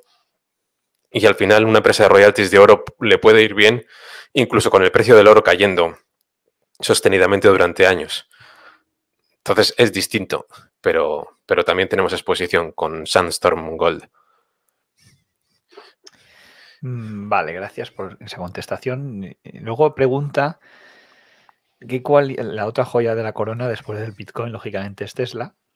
Y pregunta cuál es la calidad. Bueno, ya he visto tu análisis de Tesla y la verdad que hay mucha información al respecto, pero por resumir, ¿no? Y yo creo le gustaría saber qué es aquello que pondera más eh, ahora mismo en Tesla. Si el autopilot, las ventas futuras, el carisma de Musk, eh, pues no sé, las baterías. Eh, ¿Qué, está realmente valorando el mercado? O, es que simplemente valida la tesis de, ventas de que creo que tienen tanto ARK como, como los escoceses de Scottish Mortgage sobre el futuro del coche eléctrico? Es, difícil, simplemente por venta de hardware, de, eh, de baterías para renovables o de, o de, coches en sí, con sus márgenes.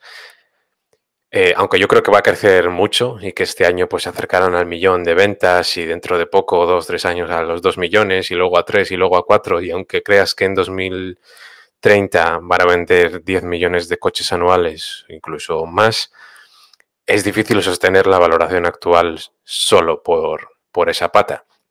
Y yo creo que lo que el mercado antes valoraba en cero y que ahora empieza a valorar es la parte del software, sobre todo el software autónomo, el software autónomo en los coches, que eso puede cambiar por completo los economics y el, y el valor de las cosas. Entonces, es algo tan grande que pueden ser trillones de dólares, pues que una probabilidad que asigne el mercado de un 10, 20, 30% de que eso ocurra, pues se te empieza a mover la capitalización de mercado 200, 400, 600 billions, ¿no? Arriba y abajo. Entonces, el elefante en la habitación es ese, eh, el que consigan o no consigan el tema del software autónomo y de, de esas futuras redes de, de taxis autónomos, la autonomía total vía visión.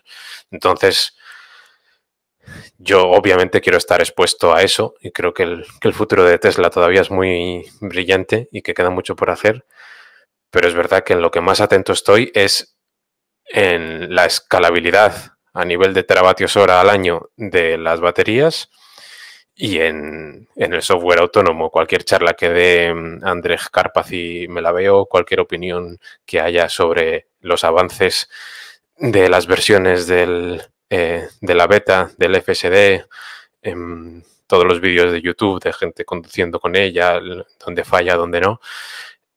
A todo eso estoy atento. Y a largo plazo, al final, pues sí, la tesis es la, esa innovación constante, ¿no? Y esa cultura de integración vertical y de, eh, y de uso de, energía, de producción, consumo y almacenamiento de energía, pero es lo más gordo. Si consiguen el software autónomo, pues valdrá mucho más. Y si fallan estropitosamente en eso y simplemente es venta de coches eléctricos, pues la tesis cambiaría. Yo la verdad que lo, del coche autónomo, tecnológicamente sí que lo veo, pero a nivel regulatorio lo veo prácticamente imposible. Porque si no hemos conseguido, por ejemplo, en España, hay otros países que sí, ¿eh? en España no hemos conseguido que un tren vaya solo, conseguir que dejar circular a un vehículo como un turismo por las carreteras el día de mañana lo veo impensable. Yo creo que se quemaría, quemarían las calles los sindicatos o quien fuera para prohibirlo, ¿no? Porque no hay nada más autónomo que un tranvía o un tren que va guiado por, sus propios raíles. Y, de hecho hay países en los que vas y, no hay conductor. Pero aquí es, la regulación no lo permite y, bueno, igual hemos visto con el, tema de Uber lo, complicado que es el asunto. Sí, bueno, por suerte la tesis de Tesla no depende de España. Eh, pero vamos, que hay ciudades americanas muy favorables a, que se experimente, a que se hagan pruebas con, coches autónomos y, al final es cuestión de, tiempo, porque al principio, eh, aunque sean casi autónomos, siempre habrá, alguien en el volante por si acaso. Ahora mismo, con la versión actual del software beta, eh, ya se hacen muchos viajes con cero intervenciones de puerta a puerta, pero siempre hay alguien, por si acaso, ¿no? Entonces, La cuestión será cuando se consiga que pase un tiempo para que Tesla recabe la mayor cantidad de información posible para decir, mira, esto es pues eh, cinco veces más seguro que un humano o diez veces más seguro que un humano en accidentes por kilómetro, ¿no? Entonces, con esos datos ya podrán empezar a convencer a los reguladores. Y ahí hay mucha descentralización que pueden aprobar ciudad por ciudad o estado por estado. Entonces, una vez que se vea que funciona y que se gana confianza, pues se irá eh, ampliando, pero irá poco a poco, sí. Creo que Amazon también tenía un proyecto parecido, una especie de, vehículo autónomo, ¿no? Como con cuatro. Yo vi incluso unas imágenes, un vehículo en el que entraban cuatro pasajeros enfrentados y directamente sin conductor ni nada.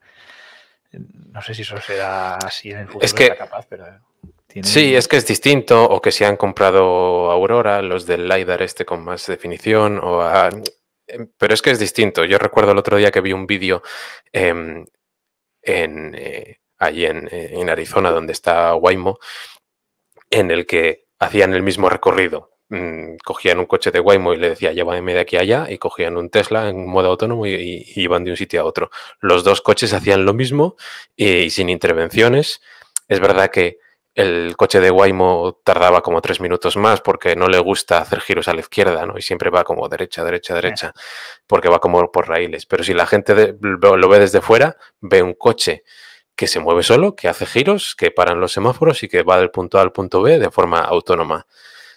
Y no tiene nada que ver con lo que ocurre de verdad por debajo, porque un coche de Waymo solo puede funcionar en esa pequeña zona que está premapeada, que, tiene un montón de sensores caros encima para, em, para ver lo que pasa en su entorno. Y, y digamos que es una solución sobre raíles que no es general y que no es escalable. Y sin embargo, un coche de Tesla ha hecho ese recorrido sin verlo nunca. Digamos que ha llegado a cada cruce por primera vez sin conocerlo y ha entendido lo que tiene que hacer. y, lo puede hacer al otro lado del país, un coche de Waymo no. Entonces hay cosas que no se ven, pero que son muy valiosas y que todavía no se valoran. Pero vamos, que yo creo que la estrategia de Tesla de pura visión es la correcta. Bien. Hay preguntas aquí también que estoy viendo que hay en el chat. Entonces, vamos a ver si las intercalamos con las preguntas del foro para que la gente que está escuchándolo también pues, se sienta respondido. Aquí nuestro amigo Luis ha tirado de la maldita hemeroteca y es hmm. curioso porque con el tema de la pandemia, creo que ya escribiste algo hace un poco más de un año, decía, Numantia tiene un plan B y decía, we have a ticket to the moon. Y, Luis preguntaba que cómo ves el tema de la pandemia y eh, si crees que eso realmente el futuro pues, va a haber un mundo post-COVID, ¿no? Eh, una vez las vacunas pues ya funcionen y, veremos si las tendencias globales pues acaban imponiéndose a nivel de descentralización o, la tecnología digital, pues como las plataformas eh, tipo Zoom y de streaming que parece que se están imponiendo mucho más. Sí, no, lo, de, lo del plan B, B de Bitcoin, y lo, de, lo del ticket a la luna simplemente eran referencias eh, jocosas, eh, bromas de...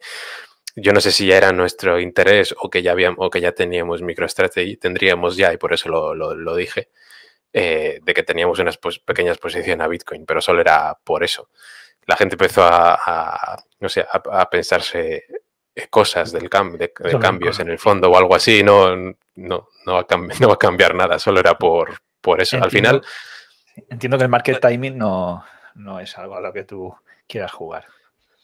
No, no, no, no es, no es lo mío, pero al final la gente tiene que entender, que mucha gente me sigue en Twitter y tal, que pues esto es una responsabilidad muy grande, ¿no? El, dinero propio, el dinero familiar, el dinero de mucha, de mucha gente. Y yo paso mucho tiempo aquí, pues leyendo y preocupándome y haciendo las tesis y sopesando cosas. Y es algo de mucha responsabilidad y muy, muy serio. Y entonces al final, como yo sufro de hiperresponsabilidad, ¿no? Y a veces me da problemas, pues el Twitter es un poco una forma de...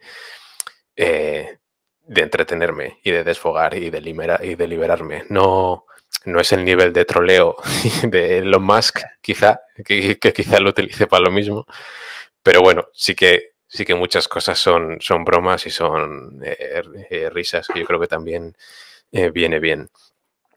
Pero porque la gente tenga contexto ¿no? de las cosas que yo digo o que, o, que no digo en Twitter. pero bueno, es algo mm, personal y yo creo que siempre será así, es el estilo de cada uno. Pero lo del market timing de entrar y salir, no. no. Yo recuerdo, por ejemplo, en marzo de 2020, que tuvimos la suerte de, de tener al fondo con el 20-30% de liquidez y empezar a invertir eh, con tranquilidad las cosas que ya habíamos hecho los de, los deberes y simplemente yo me vi con dinero en la mano y con precios muy buenos en cosas que ya entendía que había valorado y que creía que estaban muy baratas y que eran buena oportunidad. Entonces, yo recuerdo en ese momento que la gente me decía, pues casi en el mínimo, en el 15, 18, 20 de marzo ya nos quedamos sin liquidez porque yo lo veía mm, buenas compras y la gente me dijo, pero ¿cómo? No dejas algo más para tener uno o dos disparos en la recámara porque esto pinta muy feo y si baja más y si no baja más, yo no tenía ni idea de qué será el mínimo, ni, sabía si iba a bajar más o no. Pero si yo veo las valoraciones claras y tengo dinero, pues voy a invertir. Y además, como yo tiendo al optimismo, ¿no? Y me gusta el futuro de las empresas que tenemos y creo que las valoraciones son, las valoraciones son buenas, pues yo tiendo a estar siempre invertido hay momentos en los que entra mucho dinero y yo con calma pues lo voy asignando y hay algo más de liquidez, pero es por parsimonia mía. Eh, la, tendencia suele ser a estar mm, siempre invertidos a no ser que yo no lo vea eh, no lo vea claro y no esté tranquilo. Pero no, esa cosa de ahora entro, ahora salgo, ahora, las vacunas, ahora no.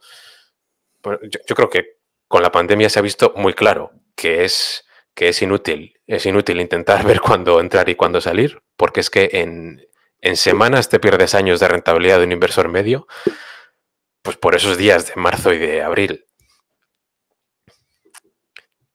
No se puede, no se puede predecir. Desde, desde, luego.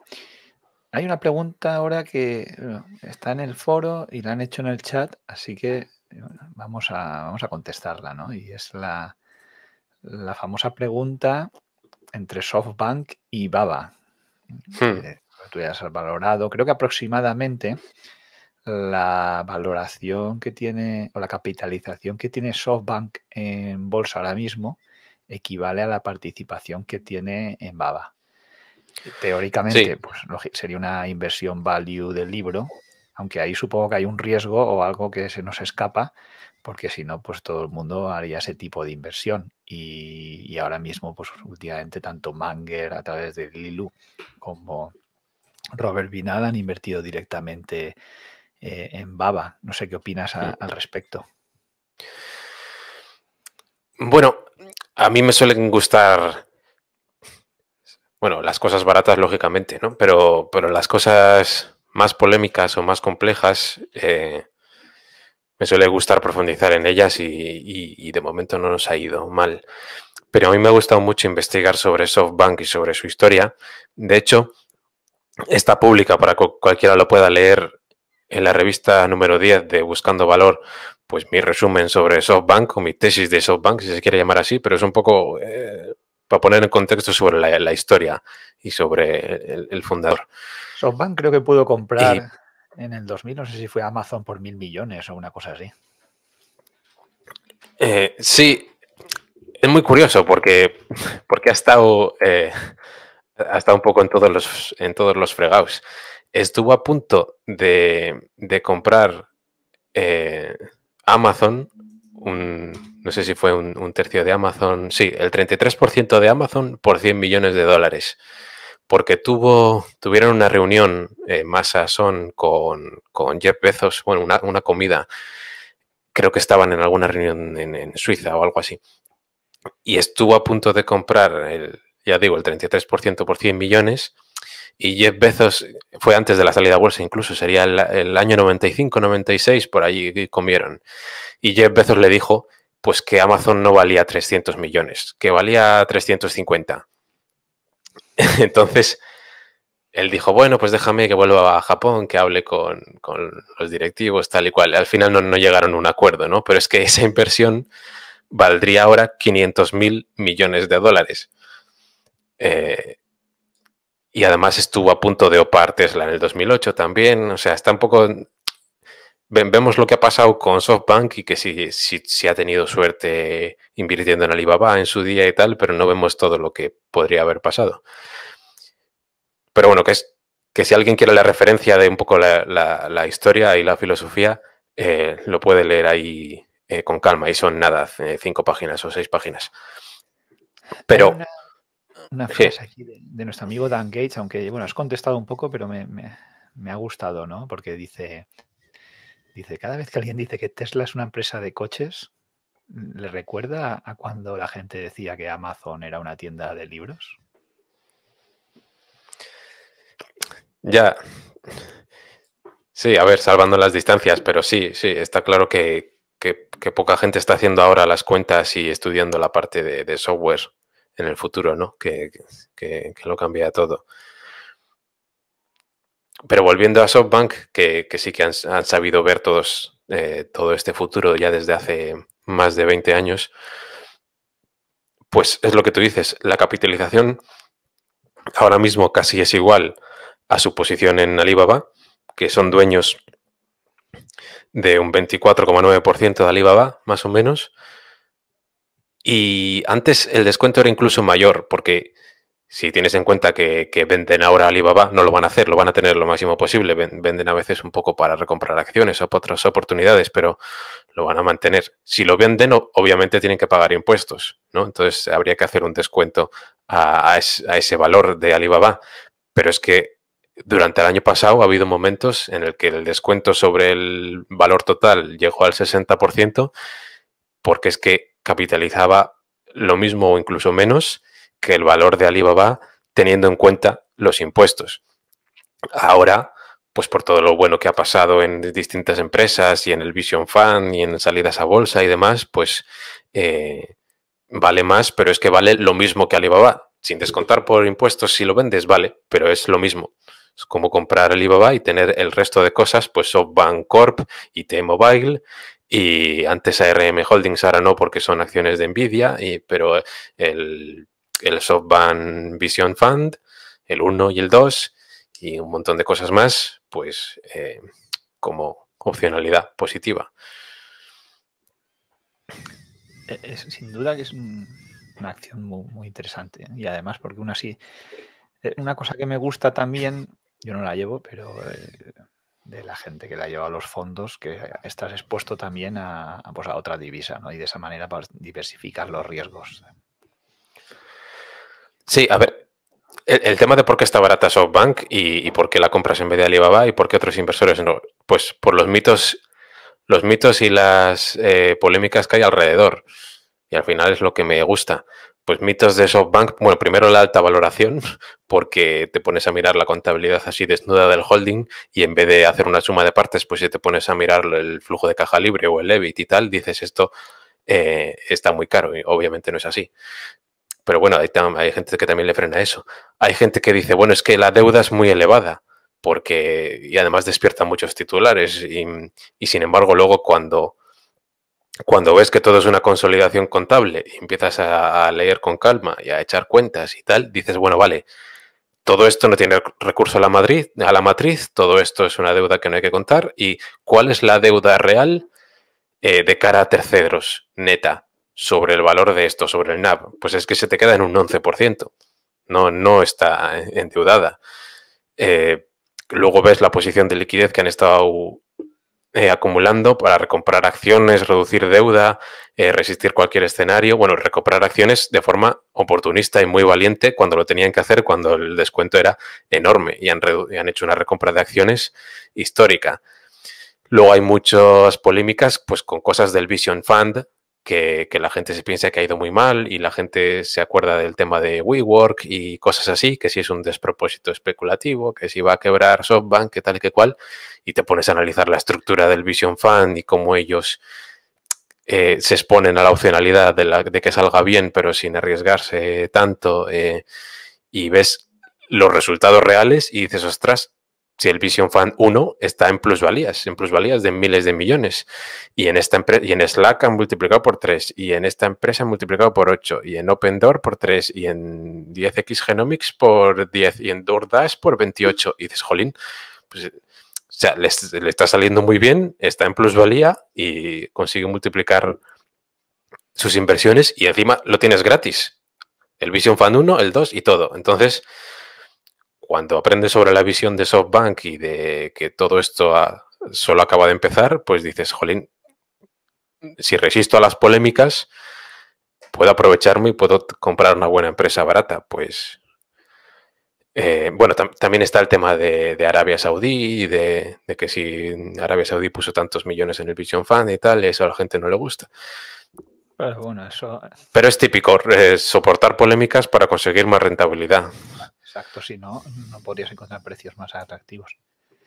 Nos pregunta Robert Martín por el Bitcoin Cash y, bueno, si lo prefieres al Bitcoin clásico. Y luego ha hecho una pregunta que ya has contestado antes sobre crear un fondo clon en Luxemburgo, que ya has dicho que en principio no, aunque si me lo permites, yo creo que ahí realmente no veo ninguna ventaja tener el fondo en Luxemburgo, salvo que en el futuro haya un riesgo un riesgo palpable en España, pero directamente de, corralito, y que aún así los fondos yo no, no creo que tuvieran tanto riesgo. Pero en ese hipotético caso, supongo que ya los mismos bancos ya buscarían alternativas, porque de hecho Renta 4 tiene oficina y tiene banco en Luxemburgo. Tiene, sí. Cuando éramos más pequeños, eh, me dijeron el tema de Luxemburgo, pero que no se podía hacer hasta que no tuviese más, ¿no? Más de 20, 30 millones. Ahora, ahora ya tenemos 30 millones. Y, pero bueno, no he vuelto a hablar con ellos de, ese tema. El tema de Luxemburgo, o sea, el tema de varios fondos, yo no me veo nunca con, más de un fondo. Me gusta la idea del fondo único, que sirva para todo, que me sirva a mí, para el futuro y para mi familia, y no me veo haciendo no me veo haciendo marketing que parezca, que siempre tienes un fondo para cada cosa, ¿no? Y hacemos un fondo de empresas más pequeñas, hacemos un fondo de emergentes, hacemos un fondo más conservador, menos conservador. Eh, no. Hay un fondo y ya está, y se acabó.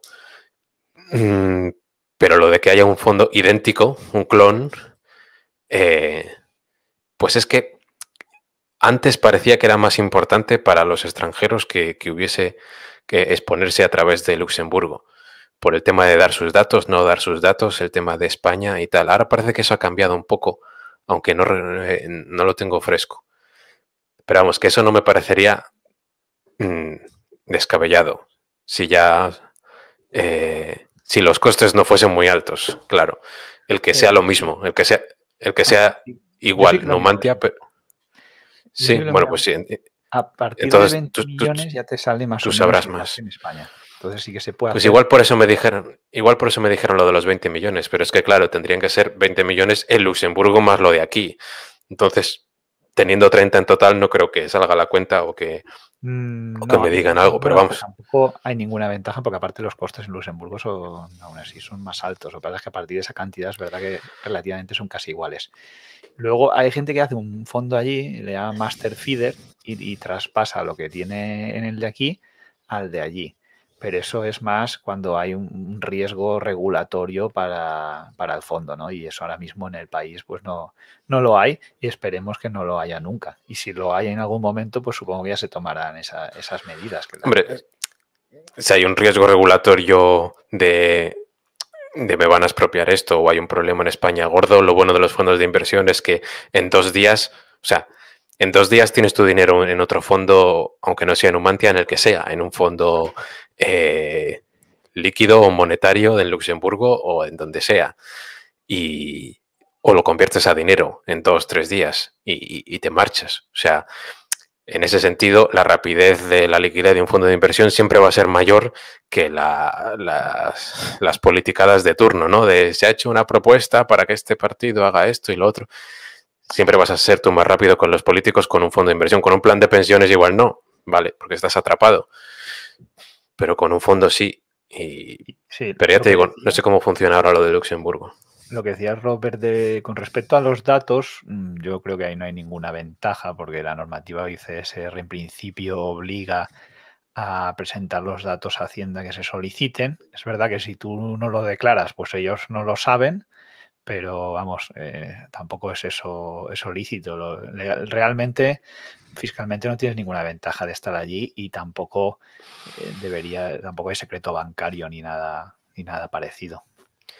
Ya, o sea, yo de, de, momento no he tenido ni contactos ni de gente ni de institucionales que digan queremos invertir en ti y, y, tenemos este problema porque estás en España, así que tienes que hacer algo en Luxemburgo, ¿no? No, no me ha dicho nadie nada, así que de momento estamos bien así.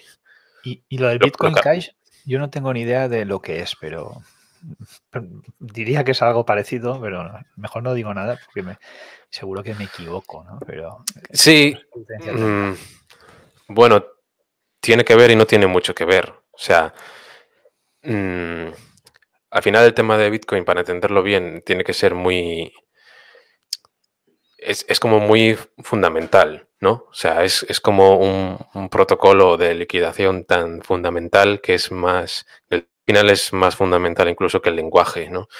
Entonces, desde un punto de vista histórico, los problemas, o sea, desde un punto de vista histórico, no entiendes que no cualquier bien acaba convirtiéndose en dinero que esa prima monetaria que va apareciendo pues en la sal o en el ganado o en los inmuebles o en, o en el oro tiene su razón de ser por una serie de cualidades o características que la mayoría tienen que ver pues con problemas de preservación, con problemas de confianza entre personas que no se fían entre sí porque no son de la misma tribu y con problemas de seguridad y de fraudes y demás. Entonces, desde ese punto de vista, un buen dinero, por lo menos en esa capa fundamental de liquidación, tiene que maximizar seguridad y, minimizar confianza.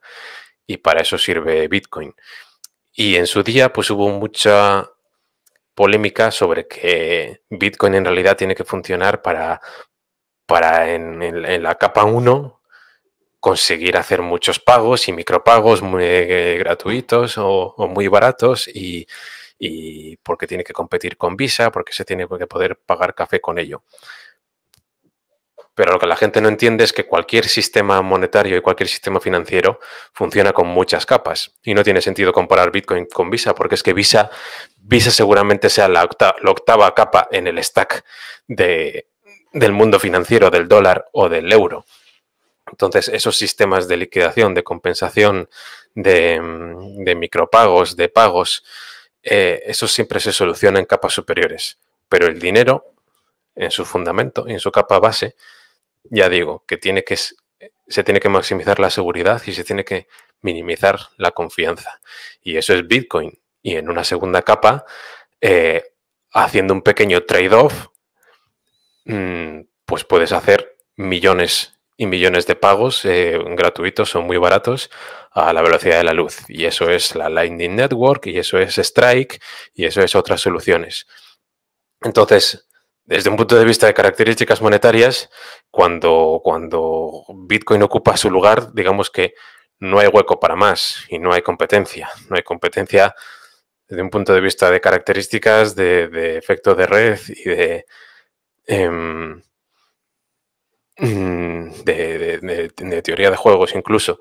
Es un punto de referencia eh, con el que no puedes competir.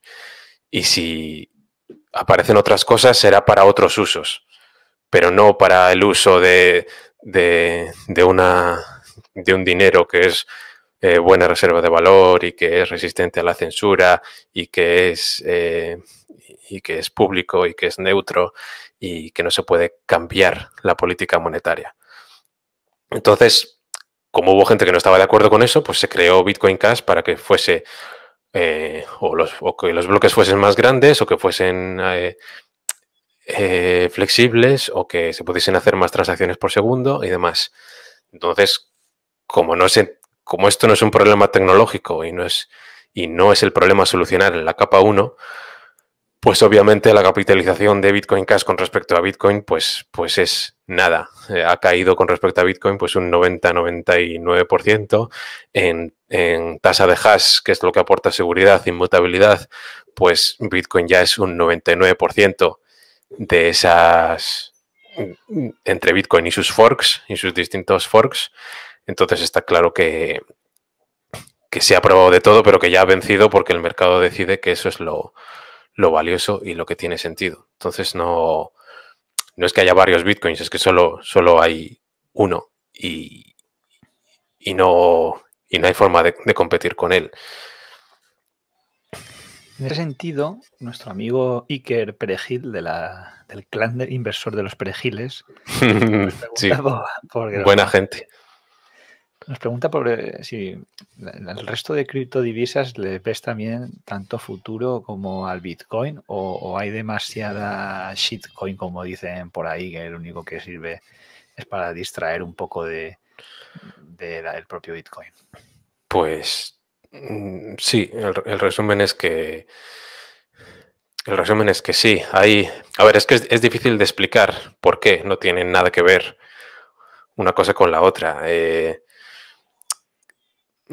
y se pueden entrar en detalles, ¿no? Se pueden entrar en detalles de Ethereum o de Cardano y de tal, que, ves desde este punto de vista cómo se puede traicionar la confianza, cómo se puede cambiar las reglas del protocolo base, de las reglas monetarias, o cómo hay problemas de seguridad en los cambios de, en las actualizaciones, que hasta desde un punto de vista informático que dices esto esto no puede ser, no puede funcionar. Será otra cosa, será una startup, será lo que quieras, pero no puede ser algo tan fundamental como lo que estamos hablando. Porque lo que consigue que algo realmente sea socialmente escalable es que sea sencillo, seguro, que minimice la confianza, que nadie lo controle y que funcione una vez tras otra, tras otra, tras otra. Y cuando siempre funciona, cuando es simple y seguro, se convierte en algo socialmente escalable. Y el, y el resto de experimentos tendrán más o menos éxito, pero no son lo mismo. Y una vez que has... O sea, no se puede replicar el proceso en el que... y el ambiente en el que Bitcoin se creó y creció, porque ya ha ocupado su lugar y ya no hay lugar para más, para esa función. Esto lo explica muy bien en alguna charla este Andreas Antonopoulos, que explica por qué solo Bitcoin es el próximo Bitcoin. Y luego también, pues, es leer todos los, eh, los estudios y artículos de Nick Savo en cuanto a escalabilidad social y en cuanto a la historia del dinero, pues yo creo que es clave eh, para entender Bitcoin. Pero no, no creo que, se pueda competir eh, con, con, Bitcoin en el, en el uso que estamos hablando. Muy bien. Antonio Patón nos pregunta una pregunta que yo creo que sí que tiene respuesta. Le dice, ¿por qué no Hermes? Y yo creo que esa sí que la llevas, si no directamente, indirectamente, ¿no? Bueno, a mí no es que... No es que no quieras invertir en ella, digamos. Bueno, obviamente los, múltiplos son altísimos de Hermes, pero sabemos que forma parte de, de Louis Vuitton, por ejemplo. Eh, sí, sí. Y, Louis Vuitton ha estado en, cartera eh, mucho tiempo, ahora mismo no está, así que eh, no la tenemos.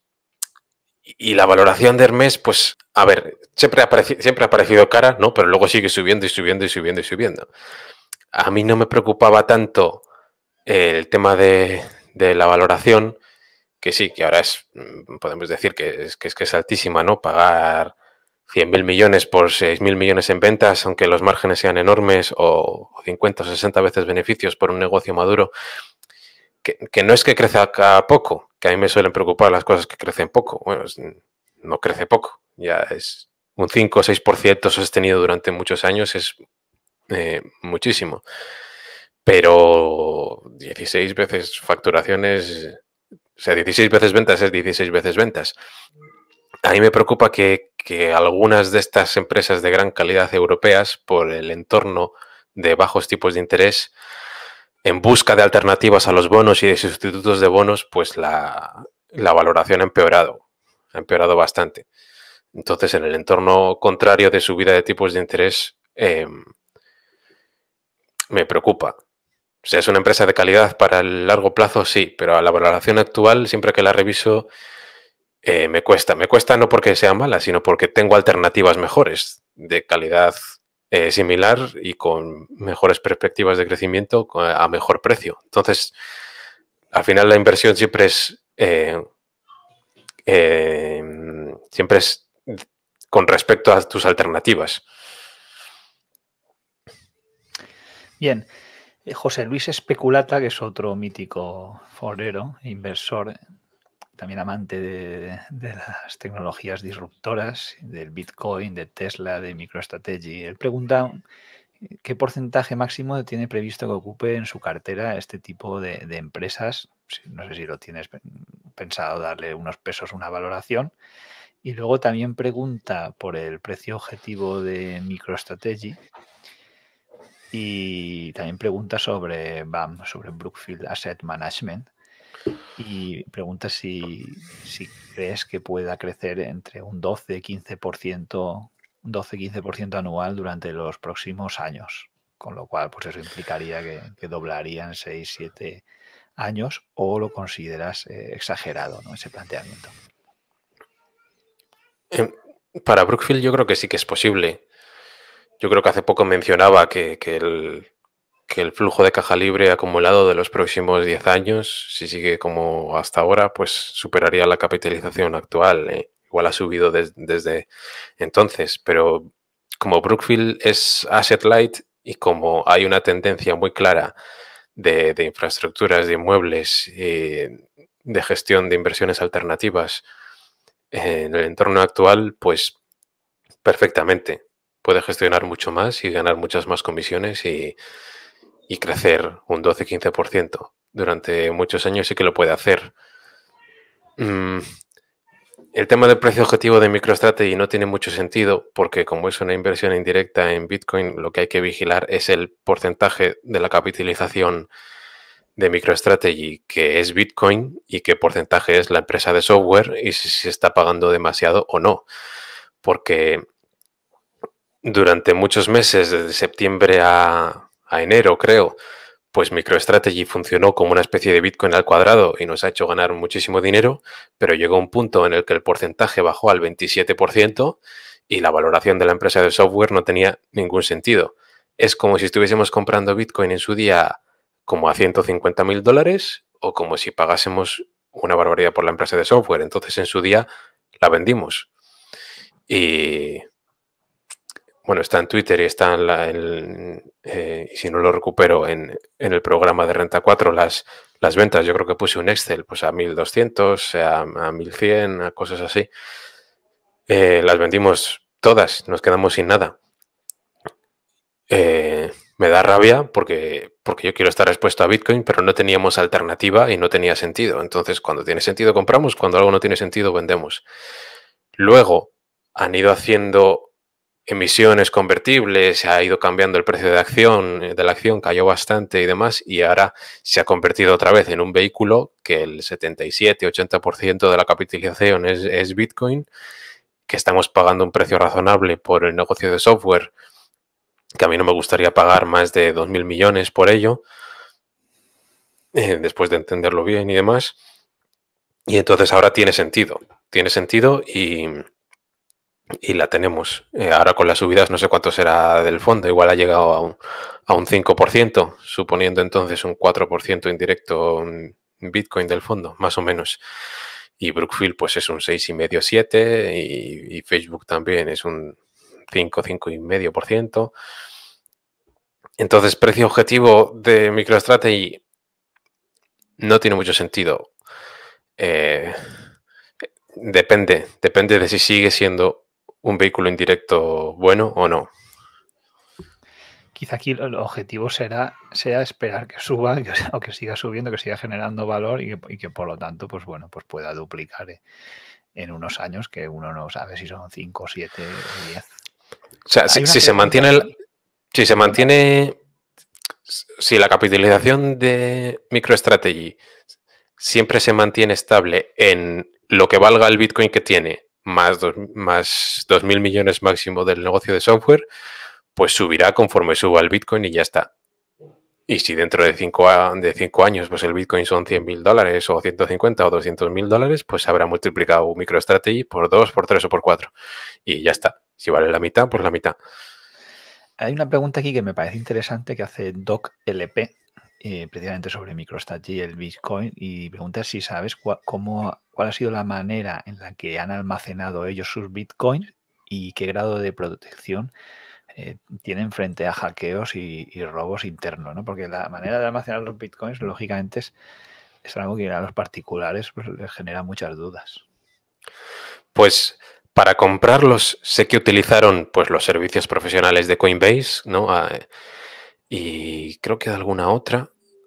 Y recuerdo leer muchos detalles sobre la forma de contabilizarlos y, y demás. Y sé que, que la forma de, almacenar la mayoría de ellos es en cold storage. Es decir, que están eh, almacenados en frío, que los bitcoins de MicroStrategy, eh, además de estar asegurados, no, no están en ningún ordenador, ¿no? No están tocando internet. No sé hasta qué punto han hecho cosas complicadas a nivel de, de directivos y del consejo de administración, pues de multifirma o, o, qué sistemas de seguridad más avanzados hayan utilizado.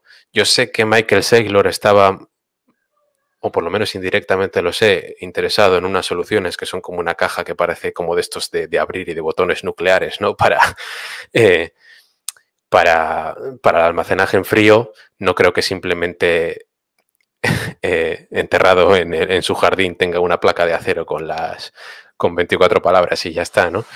Eh, o si tiene, no sé, si tiene pequeñas call cards o lo que sea, pero sé que aparte de estar muy controlado y de, estar asegurado, eh, está en frío, está separado de Internet y no está para su uso rápido, digamos. Bien, más preguntas. Bueno, aquí una, un off topic nos hace segundo impulso. Dice, ¿sobaos del macho o de la zapita? Eso habrá que explicarlo también a, los oyentes. Mm. bueno, a mí, me gustan mucho los del, los del macho, pero hay unos que venden en, el supermercado de los pastores que tienen el, ese, el gigante, el de 500 gramos, que también está rico. Pero yo como me acostumbré de niño al sabor de los del macho, son los que más me gustan. tomamos nota ahí y, trataremos de, probar los dos.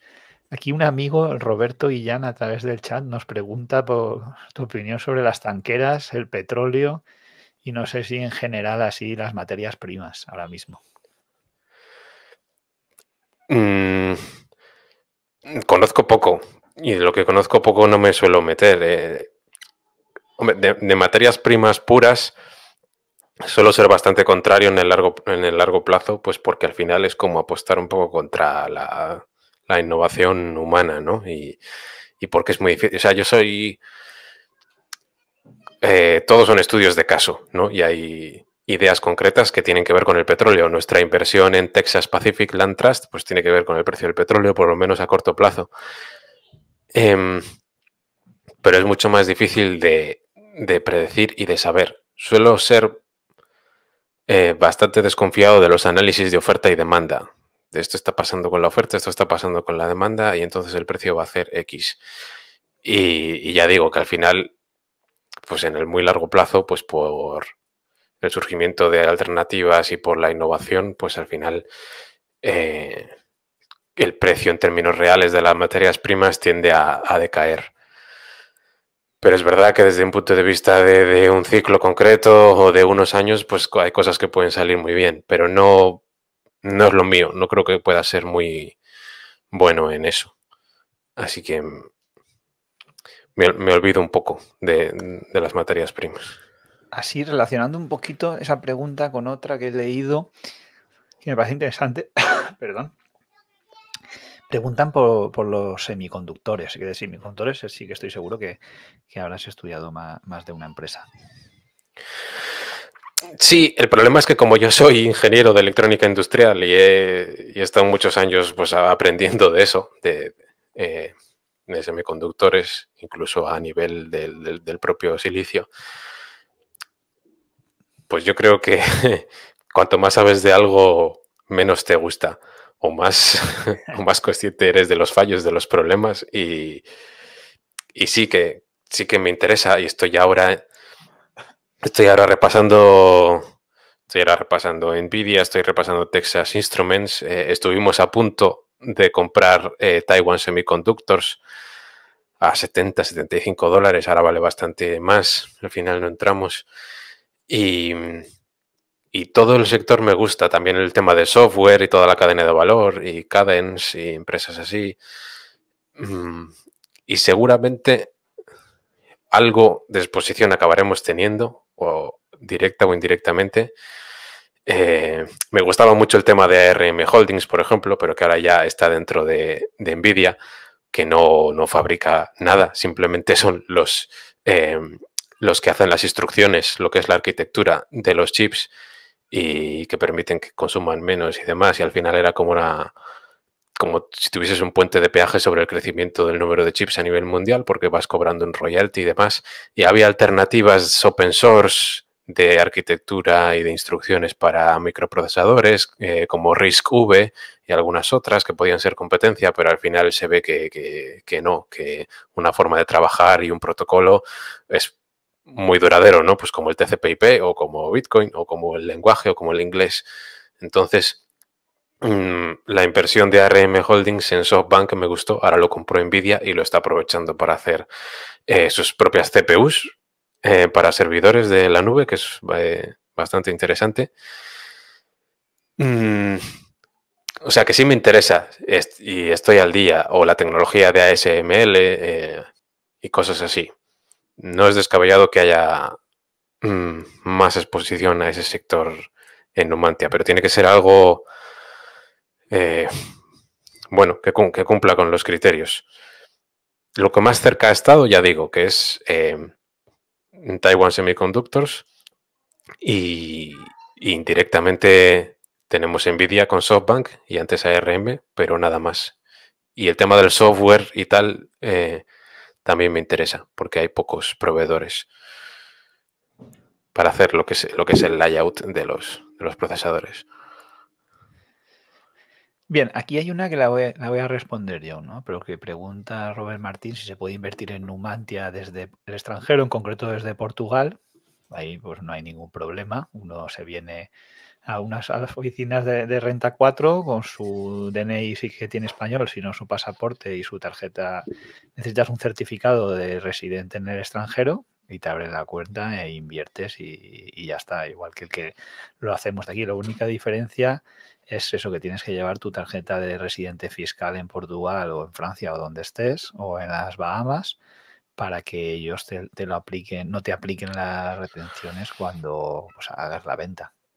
Sí, eso tendrían que hablar con Renta 4. Normalmente lo que marca la diferencia entre hacer mucho papeleo o poco es si se tiene una cuenta bancaria eh, europea, de un país europeo. Si hay cuenta bancaria europea, los papeles son más sencillos hay gente que ha conseguido invertir pues desde Estados Unidos, desde Colombia, desde, desde Panamá, desde muchos países. Pero si no tienes una cuenta bancaria europea, pues el papeleo es mucho mayor que te exige la gestora. Pero eso lo mejor es que, em, que pregunten a Renta 4 al abrir la cuenta. Sí, si está en Portugal, pues no, no tendrá problema pues, mismo hacerse un salto a Huelva, Sevilla o donde tenga más cerca y, y hacer allí los trámites. Pero bueno, igual que Numante puede invertir en muchos sitios, ¿no? Simplemente esos son los requisitos. Bien, continuamos con el clan de los perejiles. Tenemos a Borja por aquí dando guerra también. Y bueno, hay varias preguntas. Vamos a coger una de momento, eh, porque él dice que si durante el tiempo que has gestionado el patrimonio propio, bueno, hemos hablado de la sociedad familiar y del fondo, Pregunta si has ido modificando algo las características y objetivos mínimos que exiges a los títulos que entran en la cartera y cuáles son un poco esas exigencias para poder incorporar a una. Imagino que el, retorno, a mí me gusta mucho eh, la frase que dice siempre Chuck Acre, ¿no? Dice la tasa de retorno, el rate of return, rate of y siempre, siempre repite solo eso, la tasa de, retorno. No sé qué criterios tendrás y si coinciden un poco con estos de Acre.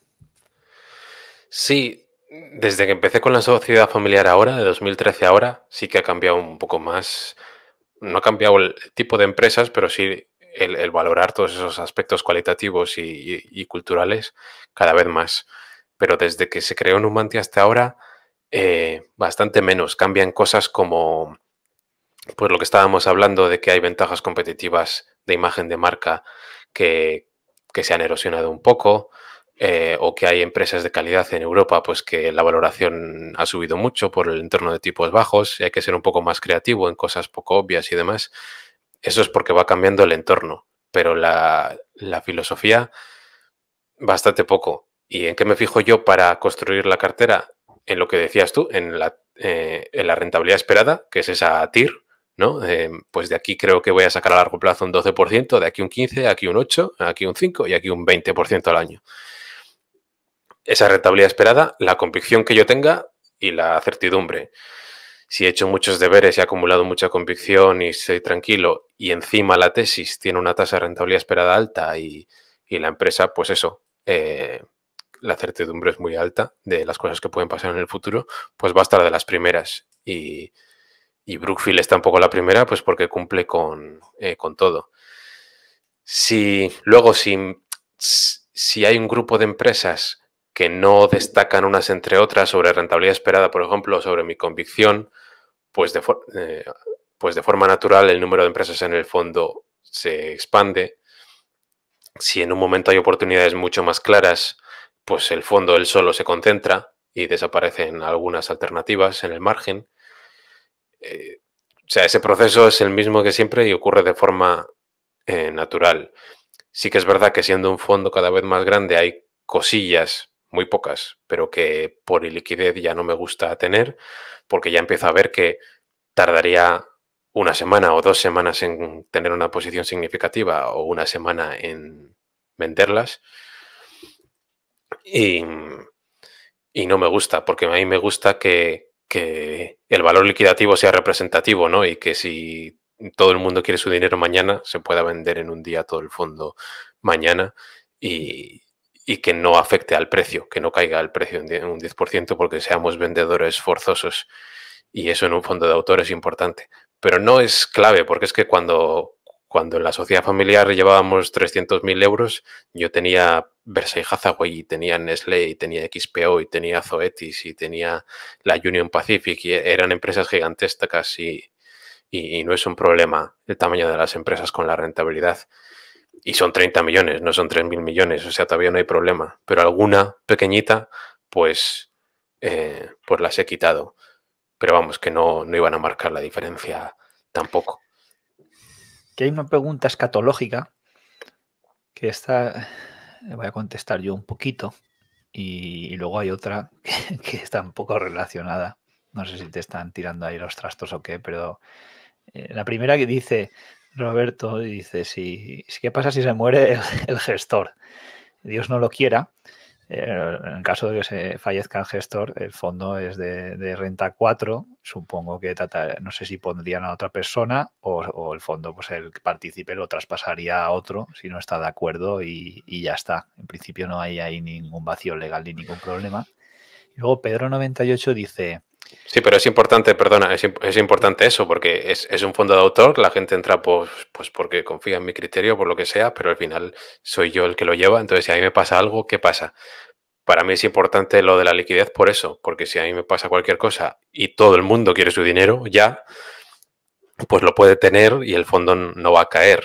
¿No? Él va a tener su dinero al, valor liquidativo actual y, no va a haber ningún problema. No, hay ningún problema de liquidez, obviamente. Pero es, lo que tú dices, es renta 4 la gestora, la gestora sería a cargo, eh, también tiene que haber una persona que se, dedica, que se dedica a, pues a desmantelarlo todo de forma ordenada y tal, y eso está regulado y está todo eh, pensado y, ya está.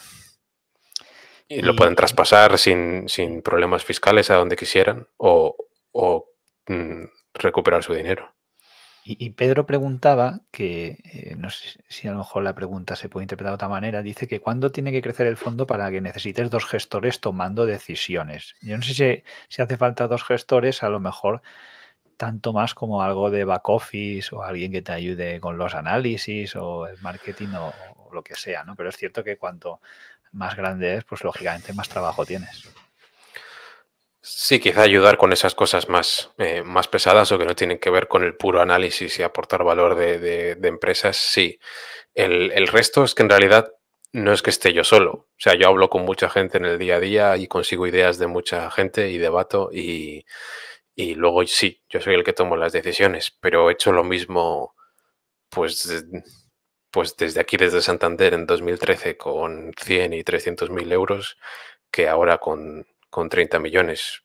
Mm, yo sí veo eh, pues que hay alguien que, puede estar conmigo toda la vida, que, me complementa y que eh, me ayuda, pues, pues me ayudará. Pero es que normalmente esas personas o ya tienen su proyecto o, están a otra cosa y puedo conseguir lo mejor de ellas, pero sin, sin que haya dinero de por medio o sin que haya una relación profesional de, de por medio y eso me gusta más debatir con gente que, no tiene que convencerme de ideas, ni tiene que, ni cobra nada de mí, ni yo de él, pero que igual tiene ya su fondo o tiene su, su patrimonio y igual eso es más valioso una tarde de charla con esa persona que, em, que tener uno, dos, tres analistas.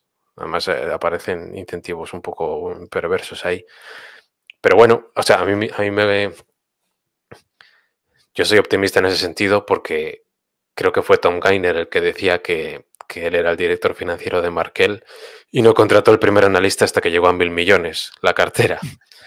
Así que, queda, en ese sentido, es verdad que no es lo mismo tener una cartera de empresas que ya has acumulado mucha información y que son y que puedes tener muchos años porque sabes que van creando valor a tener un poco un ejército de gente que busca oportunidades para los próximos 12 a 18 meses, ¿no? De esto está muy barato y ha llegado a su, valor y lo vendo y tenemos que buscar la siguiente idea y la nueva oportunidad y saltar de una empresa a otra.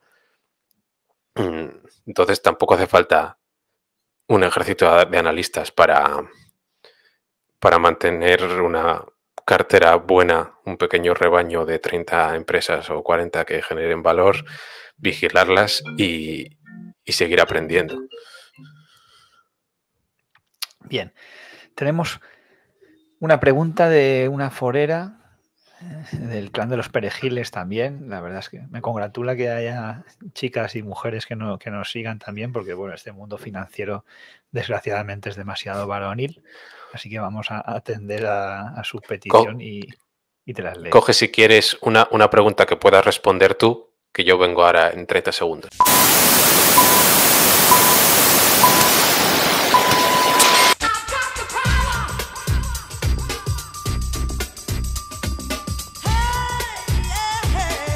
Bueno, voy a leer la, pregunta de, Conchi para todos los que estás ahí y, ahora cuando venga en mérito se la pregunto se la vuelvo a preguntar y respondo lo que ya ha dicho. Dice, ¿cómo está siendo tu experiencia de la mudanza de la capital de reino a Santander. Puedes suplir con solvencia el contacto físico con el universo inversor por la interacción virtual, la interrelación virtual, y balance de tu cambio de residencia desde el punto de vista de gestor. Bueno, esto es de, lo primero que le hemos preguntado al empezar el capítulo. Ya ha dicho que ahí, lógicamente, pues está con su familia y está mucho mejor. También ha dicho que cuando estaba haciendo el curso de certificación iba a las clases con el avión y volvía. Sí que ha perdido ese contacto de poder hacerse un café pues con alguien de Valentum o con Pablo Martínez Bernal allí en Madrid por estar. Pero bueno, en principio yo creo que hoy en día con los medios que hay virtuales y videoconferencias, teléfono, WhatsApp, Twitter, parece que estés más conectado, incluso que si estás en la, en la propia capital. Antes veía el retiro y ahora ve la, las playas de Santander, que yo desde, desde mi punto de vista, ahora que nos confirme él. Ahora sí, perdóname, que me estaba quedando seco. Ah, no, tranquilo. Eh, estaba leyendo las preguntas de Conchi que, preguntaba por la experiencia de la mudanza a Santander, lo que hemos comentado al principio, por eh, la solvencia del contacto físico entre inversor. Hemos hablado de que lógicamente eso se ha perdido algo, aunque bueno, pues puedes ir en coche o en avión cuando te ha hecho falta y pregunta un poco un pequeño balance del cambio de residencia desde el punto de vista de gestor. Yo la sensación que tengo es que no, yo creo que más que pierdes casi que ganas, ¿no? Porque, porque tiene que estar todo el mundo en Madrid, si, si a lo mejor un gestor pues también puede estar en Santander y ser igual de bueno o mejor, ¿no? Que el que está en la, en la capital del reino, como dice Conchi, con toda la, ley. Mm, sí, perder, eh, igual como muchos inversores están en Madrid, gente que quiera verme en persona, pues no, no puede. Ahora mismo, durante la pandemia, Mm, de igual forma no podría, ¿no? Y ahora no... En Santander tampoco tengo reuniones con nadie. Y bueno, y cuantas menos mejor también, pues porque tengo que estar a lo, que estoy. Pero ha sido netamente positivo. Yo estoy, me veo aquí mucho más tranquilo, más contento, más tiempo dedicándole a leer, a entender cosas nuevas, a reflexionar sobre cosas, a, aportar valor para, el fondo. Al final, los resultados del fondo de ahora que se ven, pues se crearon en 2017-2018 con, con el estudio y el descubrimiento de todas las, tesis de, entonces. Y, los resultados de. Que el éxito del fondo o de Numantia es que haya subido este año la bolsa. En realidad, estos son cuatro años como mínimo de, trabajo pues desde que se crea. Ya posteriormente la sociedad que teníais para invertir, como posteriormente cuando se crea el fondo en Renta 4. Claro. Eh, y, y, en 2017, 2018 hubo, es cuando hubo que hacer los deberes bien pues sobre bueno, sobre Brookfield antes, pero sobre Facebook o sobre Texas Pacific o sobre los royalties de oro o sobre Tesla en octubre del 2018, que no era fácil. Em, o sea, todos los resultados de ahora eh, se sembraron entonces. Y los buenos resultados, si es que esperemos que los haya de aquí a 2024, por ejemplo, pues dependen de lo que estoy leyendo y haciendo ahora. Entonces, em, se nota, o sea, lo bueno es que es un conocimiento que tiene bastante inercia, ¿no? Y si, si, la, si la cartera se deja como está un mes, pues no pasa nada, va, a ir bien, pero hay que mantener la convicción y hay que descubrir ideas nuevas o hay que estar atento a riesgos para cambiar cosas y es el, pues a lo que yo estoy, ¿no? Preocupado, preocupado por vigilar el rebaño y porque no me esté equivocando en, en cosas importantes. Entonces, en ese sentido, me gusta, me gusta más eh, la situación actual en, casa, en Santander, en la oficina nueva que tenemos, que tiene eh, mucha tranquilidad y buenas vistas y, sitios para leer y para desconectar y para tomarse un café y para, para ver la cartera. Me gusta, me gusta, o sea que estoy contento. Yo estoy convencido de que has acertado bueno, y seguro que dentro de cuatro años la cosa irá mucho mejor. Bien, nos pregunta ahora, por último, dentro del clan de los perejiles, nos pregunta el patriarca Ernesto, una pregunta interesante, que en parte la has contestado, pero habla sobre la posibilidad de crear un fondo de pensiones con la política de inversiones de Numantia.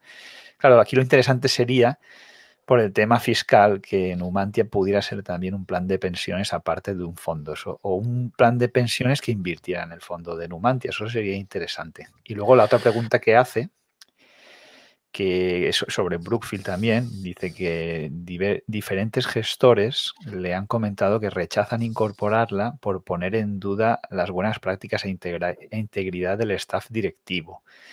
Yo no tengo noticia de, la, que el staff directivo haga prácticas que sean poco lícitas. ¿no? sé si a lo mejor, como siempre las infraestructuras, el real estate, la construcción de presas, eso está ligado bueno, a, prácticas poco éticas o medioambientalmente éticas, puedan ir por ahí por los tiros. seguro que tú sabes más que yo de, ese apartado. Eh, bueno, lo, del fondo de pensiones, ah, ya te digo, a mí sí que me gustan ideas ideas que sea replicar el fondo y no, eh, y no añadir más fondos, porque yo no quiero que haya más fondos, quiero que sea solo uno. Entonces, ideas que sea clonarlo en Luxemburgo porque le hace falta gente por X, o clonarlo para fondo de pensiones, me, gusta. Y conforme crece el fondo, pues más, más pinto, más poder tengo para decir, pues vamos a intentar hacer esto. Es bastante difícil. Eh, es bastante difícil porque a nivel regulatorio se complica. el tema de que, de que no sea un fondo de inversión simplemente, sino que también sea plan de pensiones. Pero eso sí que no solo me lo ha dicho él desde hace ya tiempo, sino que me lo ha dicho más gente y lo, intentaré, lo pelearé. Y luego, eh, lo, ah, lo de Brookfield. Eh, bueno, bueno, si le preguntas a cualquiera sobre Brookfield, tiene, tiene una idea superficial. Eh, y normalmente, como muchos inversores la conocen porque les han hecho alguna jugada, ¿no? De, de oparles una empresa por menos de lo que creían que valía o cosas que no les han gustado como accionistas desde el otro lado de la valla, pero que eran bueno, buenos para Brookfield y para los accionistas de Brookfield, pues estarán un poco em, quemados por ello. Y, sí, hay cosas polémicas sobre Brookfield y sobre el control que tienen para algunos es excesivo. A mí me gusta que haya una persona, una familia que mande, aunque haya dos tipos de acciones, aunque haya eh, controles, cosas complicadas, lo que sea. A mí eso me, gusta. Pero rechazar Brookfield normalmente suele ser por eh, porque cuesta mucho, cuesta mucho hacer los deberes eh, y ponerse a, a estudiar Brookfield. Entonces, lo más fácil es buscarse una excusa rápida con bueno, pues con la narrativa que superficial que hay sobre ella, que es esa, eh, pues que a veces hacen jugadas que no, que no parecen muy justas o cosas así. Eh, pero todo está pensado para añadir valor al accionista y ellos, los gestores, tienen un 20% de la, de la empresa y lo que les interesa a ellos es lo que nos interesa a nosotros. Exacto, que es ganar dinero. Hmm. Eh, bien, Cryptoman, que es otro amigo amante de las criptodivisas y, si no me equivoco, también es partícipe de, Numantia, eh, hace varias preguntas. Eh, bueno, en concreto dice el tema de, tener BABA a través de SoftBank, que ya lo has contestado. Luego también habla de la posibilidad de exponerse al Bitcoin a través de Coinbase. Y una que, que, me gusta, que habla sobre el estudio de Roblox, creo que lo estabas haciendo, no sé si lo has terminado, yo la he estado mirando Roblox.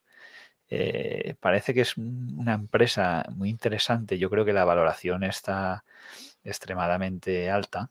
Eh, mm, por el precio, no sé si sale ya por 30 billones a, bolsa, me parece alto, aunque es verdad que estas empresas pues tienen, tienen mucho tirón. No sé si tú las has analizado un poco más a fondo y crees que todavía tiene recorrido. Estoy, estoy a medias. No puedo decir porque estoy todavía. Eh, es que ni siquiera he llegado al punto final, que es valorarla y decir, pues esto es una barbaridad o esto es una oportunidad. Pero estoy eh, aprendiendo más de ella y me, y me interesa. Mm. El negocio sí es eh, interesante, ¿no? Porque al final es un, juego de. No, y no solo estoy mirando esa, sino que estoy repasando bien Unity Software y mm, alguna más o sea, el, sector me interesa y las distintas partes del sector. Pero no, no he terminado, así que no te... Y Coinbase mm, no me acaba de convencer. Obviamente las salidas a bolsa yo eh, pues suelo ser reticente porque normalmente cuando sales a bolsa pues es para poner la empresa bonita para venderla al máximo precio posible, ¿no? Y luego eh, y luego que se apañen los inversores. Entonces, me suele gustar más que, que ya estén cotizando un tiempo y, investigarlas y analizarlas tranquilamente y, ver cómo se comportan los directivos y demás. Pero es que Coinbase al final yo lo veo como un negocio al margen, no lo veo como una forma de exponerse a Bitcoin. Nos exponemos a Bitcoin con MicroStrategy si podemos seguir haciéndolo o si encontramos otra alternativa mejor. Pero con Coinbase te expones a esa plataforma que, en ocasiones ha sido incluso anti-Bitcoin y ha mm, promovido eh, forks o ha promovido eh, criptomonedas que a veces han acabado mal o, en estafas. Eh, pero es que si te fijas en Bitcoin, puede que Coinbase es una de las formas en la que la gente compra y vende pero hay muchas alternativas y más baratas.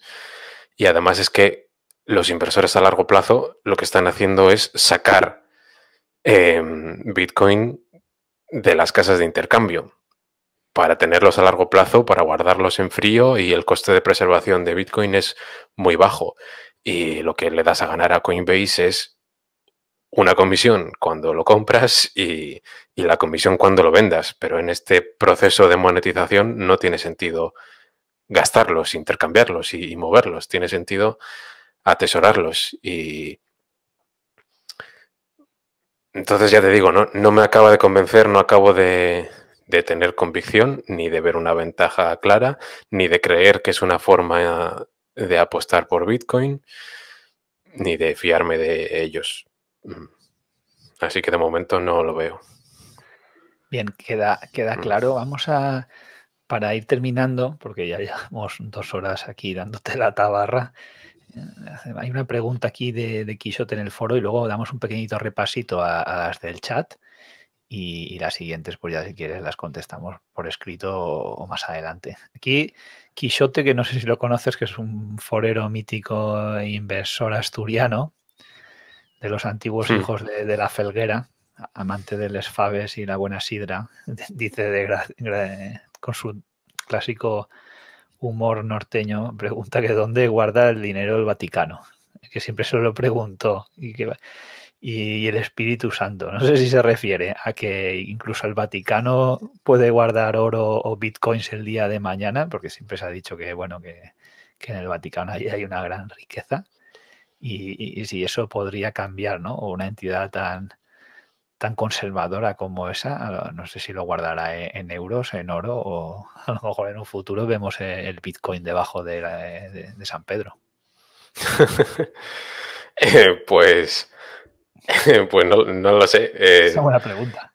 Sí, yo no sé si fue este Max Kaiser que, que es muy interesante todo lo que dice, pero a veces no se le va un poco la olla.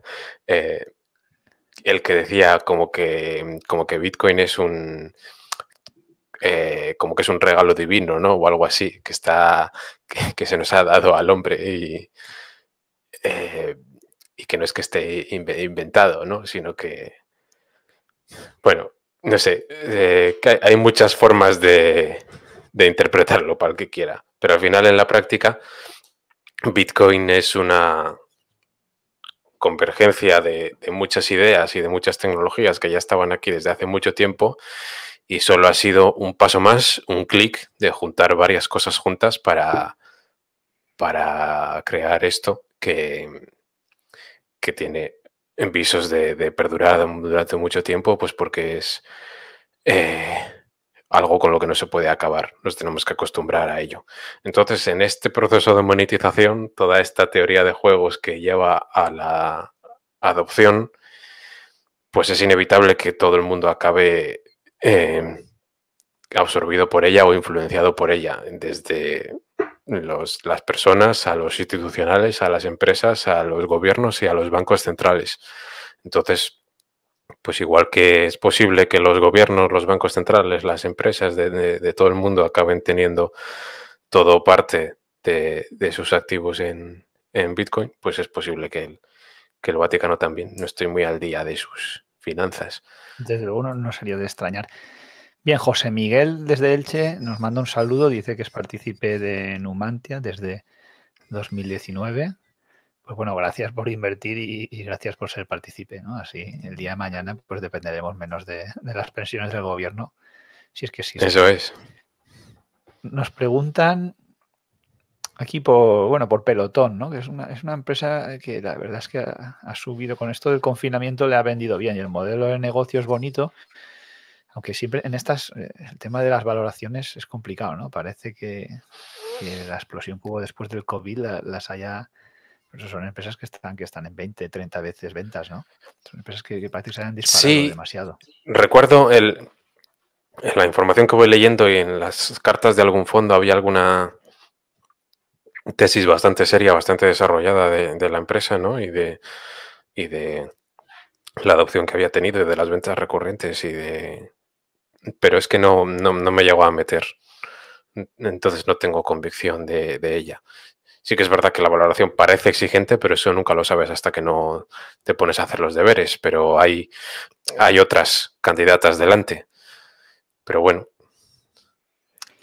aquí hay una pregunta que me gusta también, eh, porque va mucho más allá de lo que simplemente está cuestionando. Dice, como partícipe eh, de Numantia, imagino que Mariano García, imagino que, es partícipe, ¿qué te hace ver con algunas bolsas en máximo o con las bolsas en máximo apurar la liquidez del fondo eh, en estos momentos? Este, es un tema de, concepto, ¿no? El, estar, siempre lo hablamos, bueno, entre, entre los amigos y, los que nos gusta esto, estar 100% invertidos o, no.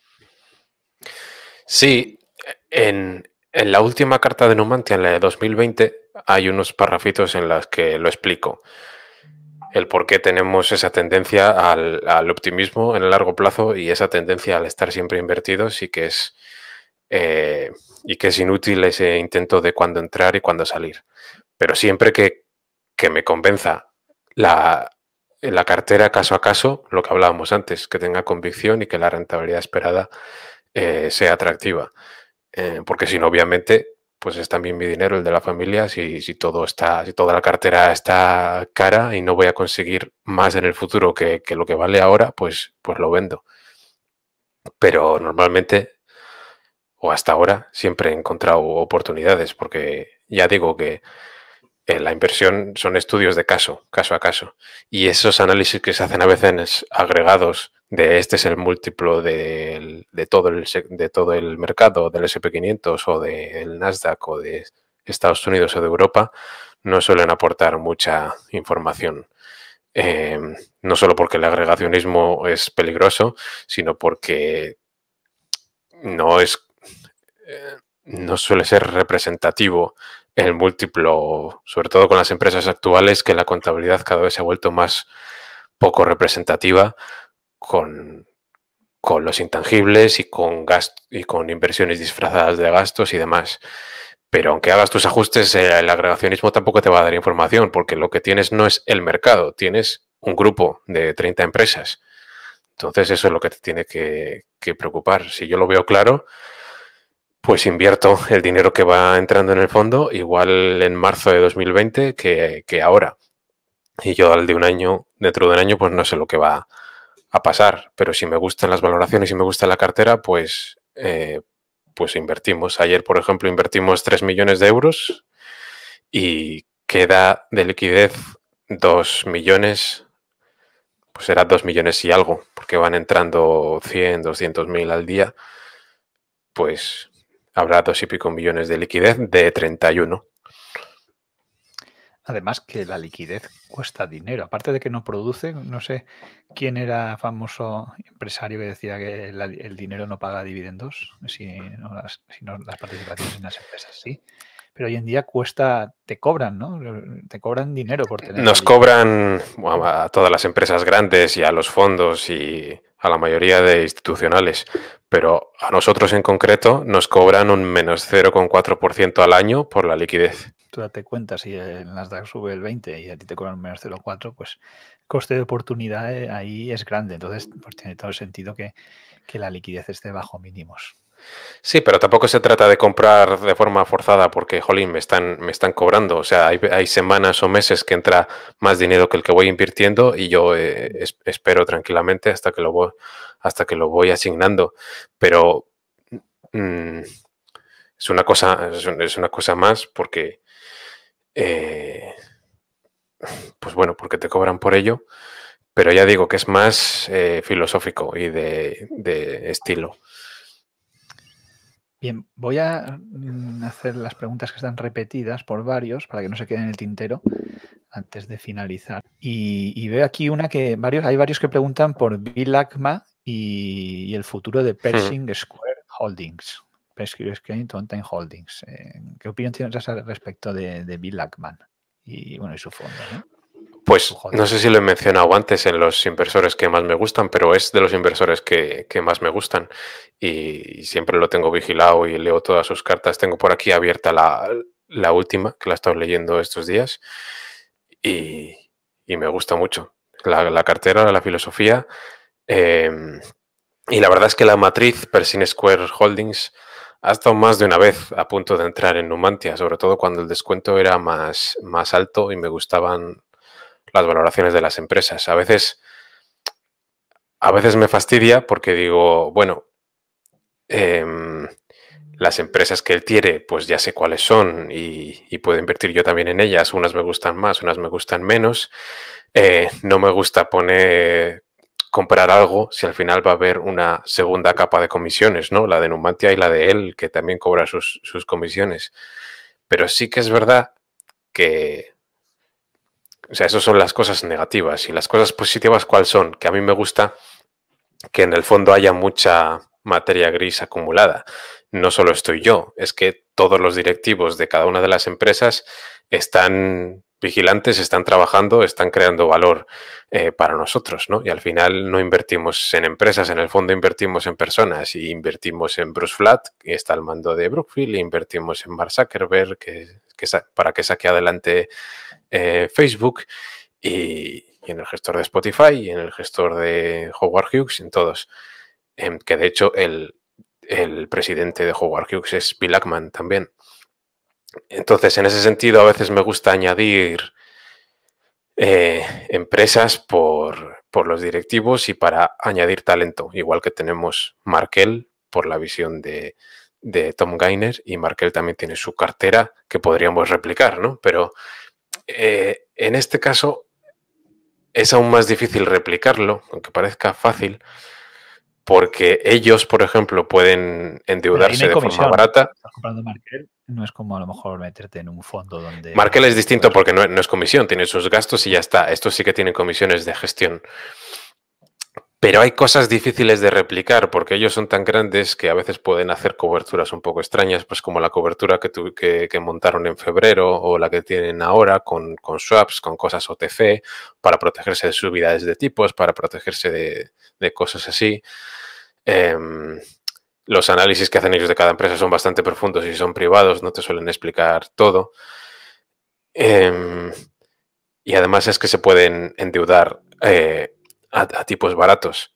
Y además sigue cotizando con descuento la empresa. Creo que ahora es un 23% sobre el NAV y tal. Dices, bueno, sí, hay, ah, habrá comisiones, sobre todo de éxito, pero si lo hacen bien en el futuro, pero lo estoy comprando con descuento y además hay cosas que no, puedo replicar y es una forma de añadir a Numantia pues, más talento de, distintas, de distintos lugares. Entonces, siempre he tenido un tira y afloja con la tesis de Pershing Square y no acabo entrando, pero no sería raro, si yo lo veo de verdad claro y yo me leo todas sus cartas, verla en el fondo. Y la que sí que tenemos es la de Pershing Square Tontin Holdings, pero porque hubo una oportunidad un poco complicada para jugarla vía opciones, eh, esa SPAC que no se sabe qué es lo que va a comprar. Yo sueño con que sea SpaceX, pero es bastante difícil. Seguramente sea. Seguramente sea otra cosa, igual un poco más aburrida, pero, eh, pero había una oportunidad para, a través de opciones, cobrar primas y ganar dinero en casi cualquier escenario. Estabas protegido en 20 dólares, que es el, valor liquidativo protegido con, dinero en efectivo y que te devolverán al de dos años, pero con lo que cobrabas por las opciones por eh, eliminarte el upside de, más de 35 dólares, pues al final acababas en un escenario en el que entre 23 y 35 dólares eh, ganabas dinero y con menos de 20 estás protegido, ¿no? Entonces, fue una forma eh, de, de que Numantia pues ganase 100.000 euros en casi todo escenario. Estar expuesto a, la creación de valor en, en, en esa herramienta, pero eh, digamos que limitando el potencial conseguías, como las opciones estaban muy caras, protegerte. Era una cosa un poco complicada que no solemos hacer, pero si es algo más conservador hacerlo con opciones que hacerlo con acciones, pues, eh, pues se hace. Y si lo entendimos, es un poco complicado porque también había temas luego de warrants y eh, que en realidad lo comprabas por, por menos. Mm, y tenemos opciones a junio y alguna a septiembre, que las de septiembre nos obligamos a comprar incluso por menos de 20, creo que eran por 19,5 que era todavía más conservador, más fácil que nos quedemos con las primas. Mm, pero bueno, Es una pequeña jugada complicada con opciones en esa SPAC de Bill Ackman que, que lo más seguro es que salga bien y que ganemos dinero. Y la matriz, pues es probable que la tengamos. en realidad no solo tendrías ese, ese, portafolio de empresas buenas, sino que tendrías también eh, acciones de esta SPAC y privilegios. O sea que es interesante. Y tanto. Hay otro chico, otro día más pone, que eh, comenta que tiene el 50% de sus inversiones en Numantia y que escuchándote a ti le dan ganas de, que sea el 100% y hacer un, hacer un all-in como, como en, el, póker, ¿no? Y, en la otra 50% dice que tienes Malaysia, Greater China y Value. No sé qué opinas tú, lo de, hombre, está claro que el gestor tiene todo el skin in the game, pero para el inversor particular, no sé si le, eh, lo más recomendable siempre es lo que él se encuentre más a gusto. No sé si el 100% en un fondo o, en varios. Sí, lo que, lo que entienda. A ver, yo, yo he hecho un all-in en Numantia, lógicamente, pero también soy el que más eh, convicción puedo tener en el día a día de lo, que tenemos. Pero claro, el, fondo está pensado, sí, para que pueda ser un fondo todo en uno y al final de la familia cercana, ayer me decían que había llegado a, dos millones de euros ya. Eh, y es mucha responsabilidad. Y cuando alguien te dice que tiene todos sus ahorros en, en Numantia, pues, pues es como no, no me des tanta responsabilidad que bastante sufro yo ya con bastante sufro yo ya con, con, ella, ¿no? Hay gente que, que me dice, bueno, pues pongo eh, ¿cuánto pongo? Yo, yo no puedo recomendar a la gente porque no, no puedo hacer recomendaciones a particulares ni a empresas, solo puedo asesorar al, al, fondo. Pero yo lo que les digo, no, mira esto, mira esta persona que lo hace bien, este otro fondo y tal, para que no, para que no me den a mí toda la responsabilidad porque, porque no la quiero, pero, pero sí. responsabilidades. Eso es.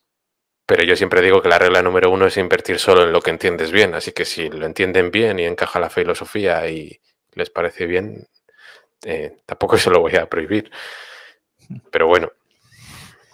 Vamos a hacer un par de preguntas más y, cerramos la ronda de momento, porque si no se nos, se nos hará eterno. Yo, yo, yo si, si, no fuera un loco de esto y comprar acciones también, yo creo que con tres, cuatro fondos, eh, una participación importante en cada uno de ellos, estaría a la mar de, tranquilo siempre y cuando los entiendas perfectamente a la, a la perfección y por supuesto pues tienes que confiar en el, en el gestor, ¿no?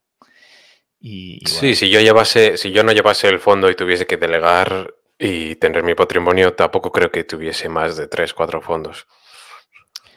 Eh, bien, nos preguntan por fondos de small caps y otras cosas. Ya, ya hemos dicho que no, que un fondo, eh, aquí va a haber un fondo y lo mejor es que se centre en él y, aporte valor como hasta ahora, porque si no es, es muy complicado poder llevar uno como para llevar tres a la vez. Hay una pregunta que se repite también yo no la conozco y hablan de SDIP Tech. No sé, qué empresa es esa. Eh, sí. Es un error de inversión. No sé si habéis leído alguna de las cartas de, de Rochon, que es un inversor de mis favoritos. No sigo a muchos, pero, pero me gusta seguir a, a, Rochon. Y él da medallitas al cabo del año, ¿no? La medalla de chocolate, la medalla de bronce, la medalla según las cagadas que ha hecho.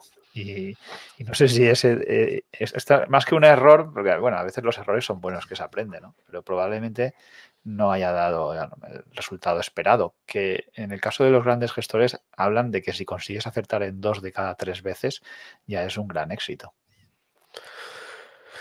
Yo creo que, yo no sé si lo mencioné en la carta de 2020, yo creo que sí, pero si no lo, lo menciono ahora, es Deep Tech, fue una empresa que, que me gustó mucho y que llegué a la convicción de, vale, esto está bien hecho para los próximos eh, muchos años, pero que subió tanto que ante otras alternativas, pues, pues decidí eh, eliminarla para centrarme en otras.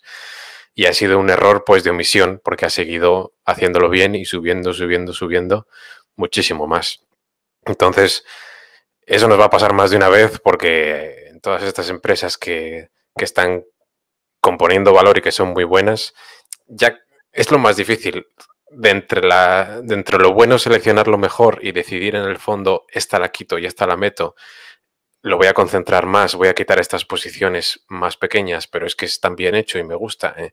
Eso es de lo más difícil. Los pesos de la cartera, concentrar cuando hay que concentrar y elegir entre buenas empresas y buenas tesis. Y nos va a pasar muchas veces que, que, que, valgan muchísimo más o que sea un coste de oportunidad tremendo haber vendido X. Y esa yo creo que va a ser una, sí. Eh, ¿Crees que Luis Vuitton también ha sido un error de omisión? No sé si habías entrado en la sociedad ahora holding que tiene Arnott eh, recientemente o escribiste un análisis. puede ser, sí, sí. Y entramos en, en, Christian, en, Christian Dior, eh, porque Christian Dior la tuvo en su momento, incluso la compramos en, la aseguradora también la compramos y obtuvimos, no sé si un 60-70% de rentabilidad eh, hasta que la OPO Louis Vuitton Moet y luego reinvertimos en Louis Vuitton y la hemos tenido también en, en, Numantia.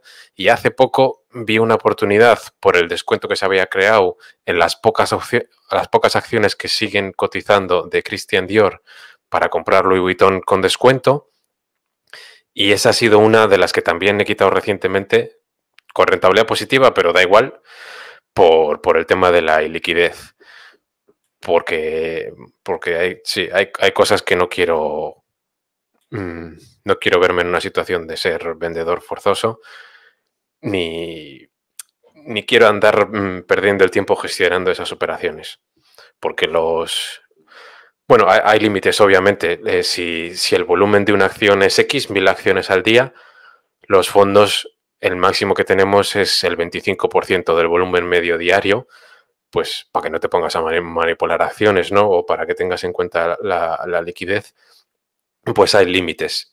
Y entonces, pues haciendo cuentas, las que salen que yo necesitaría pues varios días para con el 25% del volumen ir comprando o ir vendiendo, pues no, no me gusta tenerlas. Y esta, no, era para tanto, obviamente, pero es una de las que quité y es una de estas cosas que es difícil porque tienes tantas empresas que seguir que esas posiciones del 1, 1,5 o 2% es de los más difícil. Vender sabiendo que son buenas empresas y buenas ideas para, para concentrar. Bien, y si quieres ya para terminar, el resto pues se pueden contestar eh, por escrito o, podemos en Twitter también responder algunas de ellas, pero para no hacer esto interminable. También han preguntado varios eh, amigos sobre la tesis de Sea Limited. Eh, cómo ves su expansión en, Brasil, la competencia con la ZADA. yo no la, lo que he visto por encima de la empresa, sin haberla estudiado, la verdad que parece muy interesante. Y lo que es verdad es que en Asia, que también preguntaba por alguien por, por aquí, eh, parte del crecimiento futuro está allí. Eh, recientemente estaba viendo el informe de, de Louis Vuitton y está creciendo en Asia, pues creo que el primer trimestre las ventas, bueno, aunque ha estado el COVID y tal, pero han subido un 86%, ¿no? Mientras que en Europa prácticamente están estancadas. O sea, es un, un mercado que, que, parece claro que va a ir a más, ¿no? Sí, es Limited, eh, eh, bueno, es ahora mismo la, tesis es distinta que antes, porque antes muchas incertidumbres, pues, eh, digamos que te pagaban bien por, por ellas, ¿no? Porque estaba bastante más barata. En sí Limited hemos conseguido hasta ahora una rentabilidad del 120%. Del el precio medio que tenemos son unos 110 dólares, ¿no? 245, pues más o menos un 120 eh, por ciento. Em, pero es verdad que no es lo mismo hace dos años que, eh, que ahora. Yo tenía bastante claro que iba a valer y a superar los 100 mil millones de capitalización y que estaban haciendo las cosas bien. Y hay detalles muy interesantes de Sea Limited que son ya desde el punto de vista del consumidor, de conseguir esas, esos hábitos, esas pautas de comportamiento, porque no es lo mismo que un consumidor te compre un artículo, sobre todo de los de menos margen, pues una vez al mes o incluso dos, tres veces al año, ¿no? Para que se compre un portátil o para que se compre eh, un móvil o para que haga compras esporádicas, a conseguir a través de distintos mecanismos que, que se compre de forma más habitual más veces por mes y a que se cree un hábito con la aplicación, a que se utilice la aplicación para más cosas, a que se recomiende de forma activa, a que se creen esos hábitos. Y hay cosas en ese sentido que ellos lo hacen muy, muy bien, en todas las ramas de la empresa. Y cuando entra en un mercado nuevo, como, como recientemente ha, pasado en Brasil, pues puedes estar bastante más tranquilo de o sea, sabes cuál va a ser el playbook y sabes que, que, van a hacer las cosas bien. En el sudeste asiático pues han conseguido eh, dominar el mercado y ser eh, mejores que la Zada, que es la parte de, Alibaba en el sudeste asiático. Y a mí me gusta porque es un poco como la situación de China hace 15 años, en la que estaban un poco en ese punto de inflexión de aumento de la riqueza y del consumo por persona eh, y de renta per cápita. Y entonces es un mercado bastante interesante para, eh, para estar expuesto tanto a los videojuegos como al comercio digital y a otros sectores. Entonces, ya digo, no es lo mismo que el año pasado y que el anterior y, la rentabilidad esperada pues no es tan alta, pero sigue siendo atractiva, en mi opinión, por lo menos, eh, con estimaciones no, eh, vamos, que yo creo conservadoras. Entonces, pues yo creo que seguiremos manteniendo la, posición. Seguramente no sea muy grande porque hay otras en las que tenemos más convicción y que la rentabilidad yo creo que es mejor pero me gusta, me gusta tener sobre todo eso, cubierto ese mercado, yo creo que de la mejor forma posible por la situación demográfica. Muy bien, pues eh, muchas gracias, Emerito. Gracias a todos los que nos habéis escuchado y, los, y nos habéis visto. Yo creo que hasta aquí está bien, ya llevamos dos horas cuarenta. Eh, yo tengo la boca seca, imagínate, imagínate tú. ¿eh? y prácticamente creo que hemos respondido a casi todo. Aquellos que no podamos haber dado respuesta, pediros disculpas. Eh, pero vamos a, ya sabéis que a través de, Twitter, de, correo, pues podéis contactar con Emérito en, el correo de, Numantia, eh, conmigo mismo también en el foro de Quality en Alpha podéis hacer las preguntas y, os contestamos. Y, muchas gracias a todos y hasta la próxima. Pues muchas gracias a ti también.